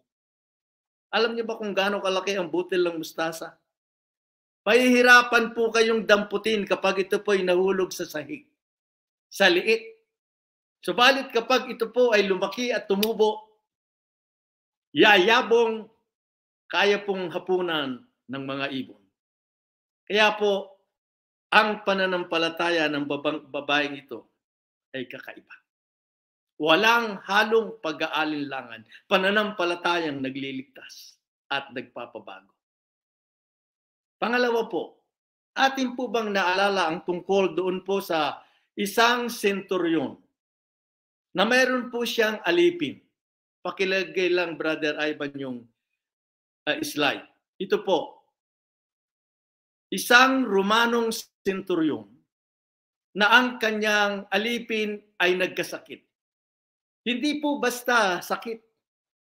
Kung hindi ito po ay serious na alam ng senturyon na maaaring mamatay ang kanyang alipin. Subalit, hindi po siya mapakali at gusto niya ito ay gumaling. Alam niyo po, sa panahon ng Romanong ito, ang mga alipin po ay pwedeng bilhin. Pwede po silang ipagbili. Pwedeng gawin kahit ano po ang gusto nating gawin sa kanila. Dahil sila po ay atin ng kanila ng pag-aari. Kung minsan po tinatrato ng hindi maganda. Pinagmamalupitan. Pinapalo at minamatrato ng hindi maganda, sinasaktan. Subalit kakaiba po itong sinturyon po na ito. Mayroon po siyang pagmamalasakit, labis na pagmamalasakit sa kanyang alipin na anupat ayaw niyang siya'y tuluyang mamatay kundi gumaling. Alam niyo po, hindi po niya nakikita pa ang ating Panginoon. Subalit kanya lang pong naririnig na siya ay nakakapagpagaling ng mga may sakit. At alam din po niya ang kanyang mga pagtuturo. Ang sabi po, kakaiba ang Romanong sinturyon nito dahil sa mga turo ni Jesus sang-ayon sa kanyang mga narinig ay nasumpungan niya ang pangangailangan ng kanyang kaluluwa. Malapit po, ma, malapit po ang kanyang loob sa mga Hudyo. Dahil naroon po ang kanyang paniniwala hindi lamang po sa pagpapagaling ng ating Panginoon, kundi sa mga pagtuturo na kanyang itunuturo po sa mga tao na nagbibigay ng kaligtasan. Kaya po hindi pa niya nakita ang ating Panginoon, subalit gusto niyang lapitan siya at hingan siya ng tulong na pagalingin ang kanyang alipin. Namanhik po siya sa mga matatanda, sa mga Hudyo, yung po tinatawag ng mga elders, na siyang makipag-usap sa ating Panginoon at sabihin na pagilingin ang kanyang alipin. Dahil hindi ko po malaman kung bakit ang sabi ay hindi siya karapat dapat na humarap sa ating Panginoong Hesus. Siguro po napakataas yung kanyang pagtingin sa ating Panginoon. At ganun po ang nangyari. Tunghayan po natin ang Lucas Kapitulo 7. Ito po ang kasaysayan. Tingnan po natin kung ano po ang nangyari. Lucas Kapitulo 7 at talatang 4 at 5. At nang magsidating sila kay Jesus, ay ipinamanhik nilang mapilit sa kanya na sinasabi, karapat dapat siya na gawin mo sa kanya ito. 5 sapagkat iniibig niya ang ating bansa at ipinagtayo niya tayo ng ating sinagoga. Ano po ang nangyari? Ituloy po natin sa talatang 6. ang sabi po, at si Jesus ay sumama sa kanila. At nang siya ay di lubhang malayo sa bahay, ay nagsugo sa kanya ang senturyon ng mga kaibigan na nagsisipagsabi sa kanya, Panginoon, huwag ka nang maligalig sapagkat di ako karapat-dapat na ikaw ay pumasok sa silong ng aking bubungan. Tuloy po natin sa 7. Dahil, 7 po, dahil dito'y hindi ko pinakalang ako'y karapat dapat man lamang pumarihan sa iyo, dadapuat, ito po ang sinabi niya, dadapuat sabihin mo ang salita at gagaling ang aking alipin. Pagkatapos po, itunuloy pa niya sa, sa talatang 8 po.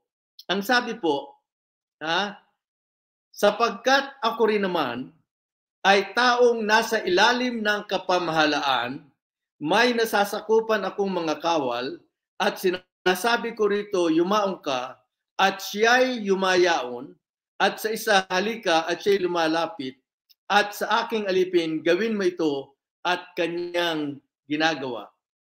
Mga minamahal na mga kapatid. Ang sinabi ng sinturyon sa ating Panginoon, ha? Dadapwat sabihin mo ang salita at gagaling ang aking alipin. Alam niyo mga kapatid, sa ating kapanahonan ngayon, kapag tayo po ay nagpunta sa doktor at magpapagamot, hindi po tayo masisiyahan na hindi po tayo hihipuin yung pupulsuhan o kukunan po tayo ng blood pressure at papakinggan po yung ating puso at yung pong ating likod. O hindi po tayo masisiyahan kapag wala pong ginawang laboratory exam po sa atin o kaya x-ray. Hindi po ba? Subalit itong centurion, hindi na kailangan sa kanya na tingnan at puntahan ng ating Panginoon ang sabi niya, sabihin mo lang. Just say the word at gagaling ang aking alipin. Ang nakakatuwa po, pakinggan po natin ang sabi ng ating Panginoon. Nang ito po ay kanyang mapakinggan sa senturyon, ang sabi po ng ating Panginoon sa Lucas Kapitulo 7 at talatang 9, at nang marinig ni Jesus ang mga bagay na ito, ay nagtaka siya sa kanya at lumingon at sinabi sa karamihang nagsisusunod sa kanya, sinasabi ko sa inyo, hindi ako nakasumpong ng ganitong kalaking pananampalataya, hindi kahit sa Israel. Mga minamahal na mga kapatid. Nagulat ang ating Panginoon sa kanyang narinig sa senturyong ito. Nagulat siya. Dahil kahit sa bayan ng Israel, hindi niya nakita ang ganito kalaking pananampalataya. Alam niyo kung bakit lalong nagtaka ang ating Panginoon at nagulat dahil ang senturyong ito, mga kapatid, ay isang hintil. Hindi kasama sa bayan ng Diyos. So, palit nakitaan ibang pananampalataya. Na kapatid, paano po tayo? Tayo po. Na binibilang natin na ang ating mga sarili ay mga Kristiyano professed Christian. Paano po ang ating pananampalataya? Gaano po kalaki ang ating pagtitiwala sa Diyos? Gaano po katibay, kawagas at tunay ang pananampalataya po natin? Alalahanin po natin palagi ang kasaysayang ito ng sinturyon na nagpakita ng kakaibang pananampalataya at dahil po sa kanya, dahil po sa kanyang pananampalataya. Ano po ang nangyari sa talatang 10? Ah, ang sabi po, at pagbalik sa bahay, tingnan po natin, at pagbalik sa bahay ng mga sinugo, ay kanilang naratnang magaling na ang alipin. Mga kapatid, mga minamahal kong mga kapatid, isang napakagandang aral po sa atin. At matutuhan natin kung magagaya po natin ang pananampalataya ng senturyon ito. Tingnan po naman natin yung mga iba. Sa kasaysayan po ay meron pong tinatawag na isang isang ketongin po. Ha? Brother Ivan, pakilagay nga yung slide. Ito po ay larawan po ng isang tao na meron po siyang ketong o tinatawag po na leprosy. Alam po noong panahon ng ating Panginoong Yesus at panahon ng lumang tipan, wala pong kagalingan ng ganitong klaseng sakit. Kaya po ito ay kinatlabis na kinatatakutan. Tingnan po niyo yung kanyang kamay. Ito po ang tinatawag na auto-amputation. Hindi po ito nakakaramdam ng sakit. Dahil patay po ang mga nerves nito na kahit po siya may sugat o kahit po siya mapaso, hindi po siya nasasaktan. Kaya po nagkakasugat, tuluyan na pong nauubos at yan po ang itsura. Ang kanya pong skin, uh, ang kanya pong ilong ay deform, deform din po ang tenga, may mga notes ang mga balat at mga wala rin pong pakiramdam. Mga kapatid, sa panahon po ng ating Panginoon at sa panahon ng lupang lumang tipan, ay ito po ang kina, isa sa kinatatakutang sakit sa gitnang silangan dahil po walang wala pong gamot nung panahon na yon. Ang sabi po sa Ministry of Healing, page 19, ganito po ang sabi, hindi ko na po translate sa Tagalog. By the ritual law, the leper was pronounced unclean. Whatever he touched was unclean. The air was polluted by his breath. Like one already dead, he was shut out from the habitation of men. Ganoon po pala. Kapag nagkaroon po pala kayo ng ketong nung panahon na yon, ay parang ibinibilang ka na nilang patay. At ang isa po na pinaghihinalaang mayroong ketong ay kinakailangan pong ma-examine po ng saserdote o ng pare at ang pare po ang magdidesisyon kung siya po ay may ketong o wala. At kapag po sinabi ng pare na mayroon siyang ketong, ito na po ang pinakamalungkot sa buhay niya. Siya po ay hiwi-hiwalay sa kanyang pamilya, aalisin siya sa kongregasyon ng Israel, isasama siya sa keto, mga ketongin, at kahit po mga hari at mga pinuno, ay hindi po sila nagkakaroon ng pagtatangi, kundi kailangan nilang isuko ang kanilang setro at ang kanilang trono at lilisan sila mula sa mga tao.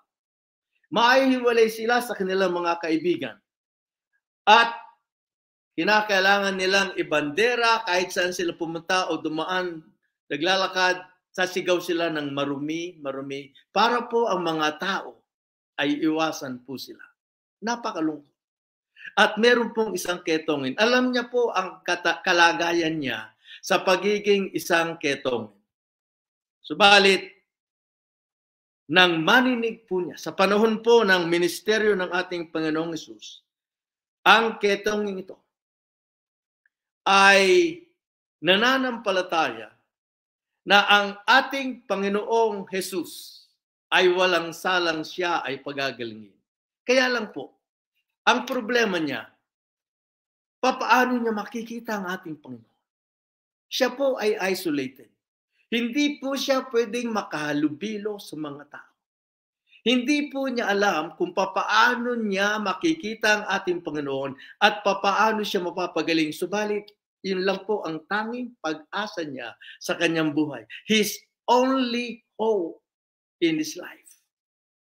Subalit, isang araw, samantalang kung saan siya nakatayo, ay naulunigan niya ang boses ng mga karamihan at ng ating Panginoong Yesus.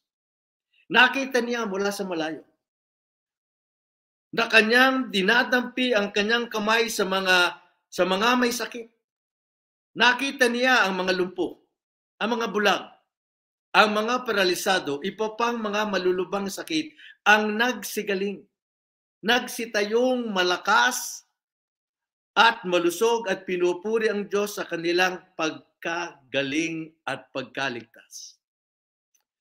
Alam niyo mga kapatid, ang taong ito na desididong gumaling sa pamamagitan ng ating Panginoon, hindi na niya inalintana na ang mga tao ay pagbabawalan siya. Hindi po. Lumapit siya unti-unti sa Panginoon. Pinipigilan siya ng mga tao, hindi niya po inaalintana yun. Tinataboy siya, hindi po niya inaalintana yun. Hanggang siya po ay dumating sa harapan ng ating Panginoon. Tingnan po natin. Ito rin po ang ay tala naman ni Apostol Mateo. Kapitulo 8, Mateo Kapitulo 8 at talatang 2. Ang sabi po, at narito lumapit sa kanya isang ketong at siya'y sinamba na nagsasabi, Panginoon, kung ibig mo ay maaaring malinis mo ako. Alam niyo sa salita ng lalaking ito mga kapatid, Naroroon ang pananampalataya at walang pag-aalinlangan ang sabi niya, kung ibig mo ay maaring malinis mo ako. Ibig sabihin, just say the word, Lord, and I will be healed. Ano po ang nangyari mga kapatid? Ah, sa talatang 3, at iniunat niya, talatang 3, Mateo 8.3, at iniunat niya ang kanyang kamay at siya'y hinipo na nagsasabi, ibig ko, luminis ka. At pagdakay, nalinis ang kanyang ketong. Ang kanyang dugo ay agad na naging malusog. Ang kanyang mga laman ay naging masigla. Ang kanyang mga ugat o nerves ay nakaramdam. Ang mga puti ng kanyang mga balat ay nawala at ang kanyang kutis ay naging normal. Mga kapatid, sa tatlong kasaysayang ito na ating nakita at narinig at nabasa sa banal na kasulatan, nakita natin ang tunay at wagas na pananampalataya ng mga lalaki at babaeng narito sa kasaysayan. Balikanan po natin ang itinatanong po sa atin ni Apostol Lucas, ang ating pong susang talata. Balikan po natin. At ating pong himay-himayin ang kahalagahan po nito para po sa atin. Ang sabi po, Lucas Kapitulo 18 at talatang 8, ito po ang ating susing talata. Ang sabi po, gayon may pagparito ng anak ng tao. Makasumpong kaya siya ng pananampalataya sa lupa. Mga kapatid, sinabi ko na po sa inyo, ang kahalagahan ng pagdating ng ating Panginoon. Ako po ay mag-iisip. Ako po sa inyo. Ako po ay mag-iisip. Saan paano natin masisigurado na sa pagdating po ng ating Panginoong Hesus sa ikalawa, kasama tayo doon sa ililigtas. Hindi po ba kayo natutuwa? Yung mga, kung hindi pa natin alam na ang ating Panginoon ay darating, sinasabi ko po sa inyo ngayon.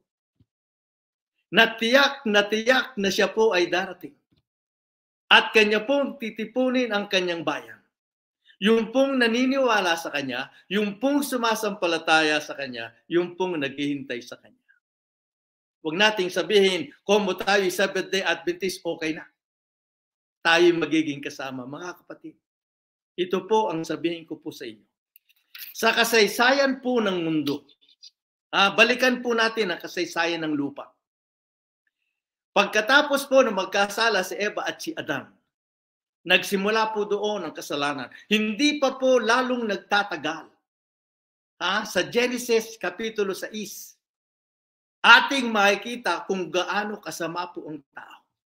Ang sabi ay lahat ng kanilang iniisip ay pulos kasamaan. Kaya po ang sabi ng Diyos, binigya, kinausap niya si Nunong Nui. Enough is enough.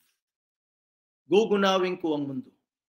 Kaya po hinilingan niya si Nunong Nui, gumawa ka ng daong. At sabihin mo ang mga tao, for 120 years, nangaral si Nui. Nagugunawin ng Diyos ang mundo. Ilan po ang naniwala? Ilan po ang sumampalataya? Nakalulungkot po, wow, walo. Yun lang pong pamilya. Sabihin na po natin, no, nung panahon na yun, merong 1 million people. 8 out of 1 million? Mga kapatid, ito po ay paalala sa atin na darating din po ang Panginoon. Hindi, at ito pong mundo na to ay susunugin po niya, hindi na po tubig.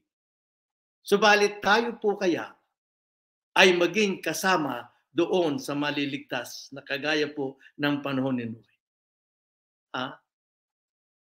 Noah preached to the people for 120 years and told them that God would destroy the earth with flood. And they didn't believe him, only his family were saved. Eight souls. Noon pong panahon ng Israel, nang ilabas ni Moises po ang Israel mula sa Ehipto at punta ng lupang pangako, mga kapatid, nando doon na sila. At papasukin na lang nila ang kanaan na lupang pangako. Ilan lang po ang tao na nagtiwala sa Diyos noon na sumampalataya. Dadalawa lang po. Si Caleb at si Joshua. When the people of Israel was about to enter Canaan, 12 men spied the place. Only Caleb and Joshua believed that they could possess the land. The ten lost their faith in God and wanted to return to Egypt. Nakalulungkot po mga kapatid. Nandumating ang ating Panginoon. Siya mismo ang nagpakita sa atin, siyang nagligtas sa atin, na nagsabi siya po ang magliligtas sa atin. Ilan lang po ang niwa, naniwala po sa Kanya. Lalabing dalawa po. Naghudas pa po ang isa. Ito po. Labing dalawang tao ang naniwala sa ating Panginoon. And at kanya, na, ang kanyang labing dalawang alagad, naghudas pang isa. Dumami lang po itong kanyang mga alagad. Pagkatapos po niyang umakyat doon sa langit at nangaral po sila. Mga kapatid, ito ay pinakikita ko lang po sa inyo. Na wag po tayo magtiwala na komo po tayo ay mga Seventh-day Adventist, nakakasigurado po tayo. Siya sa atin po natin ang ating sarili. Tayo ba ay tunay na nagtitiwala sa Diyos? Tayo ba ay tunay na sumasampalataya sa Kanya? Tayo ba ay tunay na naniniwala sa Kanya? At tayo ba ay naghihintay sa Kanya? Mga kapatid, ang ating Panginoong Isus ay madaling pumaparito. At ating tandaan na ang kanyang gantimpala ay nasa Kanya. Sana po, pagdating ng ating Panginoon, huwag po tayong maging kagaya po ng panahon ni Noe. Wawalo lang po ang nagtiwala sa Kanya. Huwag po rin tayong maging kagaya ng panahon ng Israel na walang tiwala sa Diyos. Mga minamahal, sabihin ko po sa inyo, sana po ay ating ituon ang ating pansin. Ibigay natin po ang ating puso sa Kanya hanggat meron pa po tayong panahon. Dahilan po ang pintuan ng awa ay malapit na pong magsara. At sana po, tayo ay kasama doon sa magsasabi sa Kanya, narito ang aming Diyos. Matutuwa kami at magagalak sa Kanyang pagliligtas na ito po ang aking dalangin. Sa pangalan po ng ating Panginoong Yesus.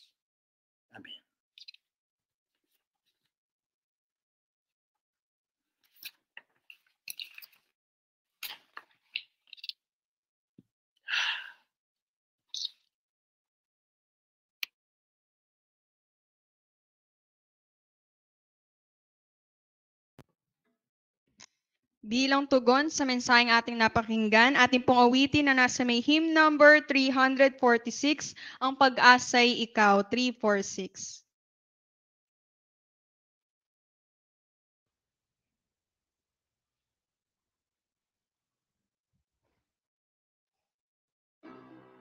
Tayo po ay sama-sama po kayo.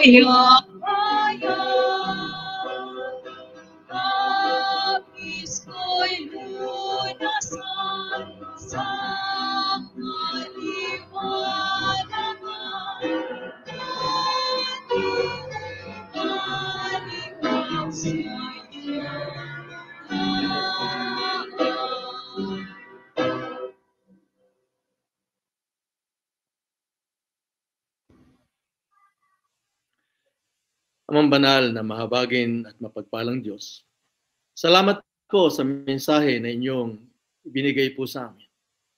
Ang mga butil ng katotohanan pong ito sana ay makapagpatibay ng aming pananampalataya at makapaghanda po para sa amin para po sa inyong nalalapit na pagdating. Panginoon, sa aming pag-iwahiwalay po sa ngayong umaga, Pagkatapos na kayo ay aming masamba sa Espiritu at katotohanan, pagpalain mo nawa, Panginoon, ang bawat isa. Pagpalain mo, Panginoon, ang bawat isa na kinig, na ang mga katotohanan ito, Panginoon, ay matanim po sa aming mga puso at magkaroon po ng tinatawag na paglago at bunga.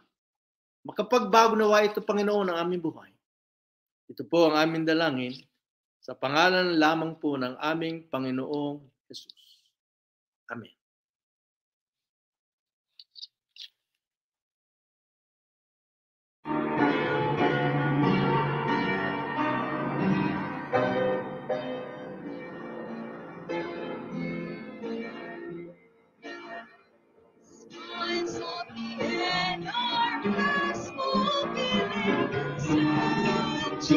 Jesus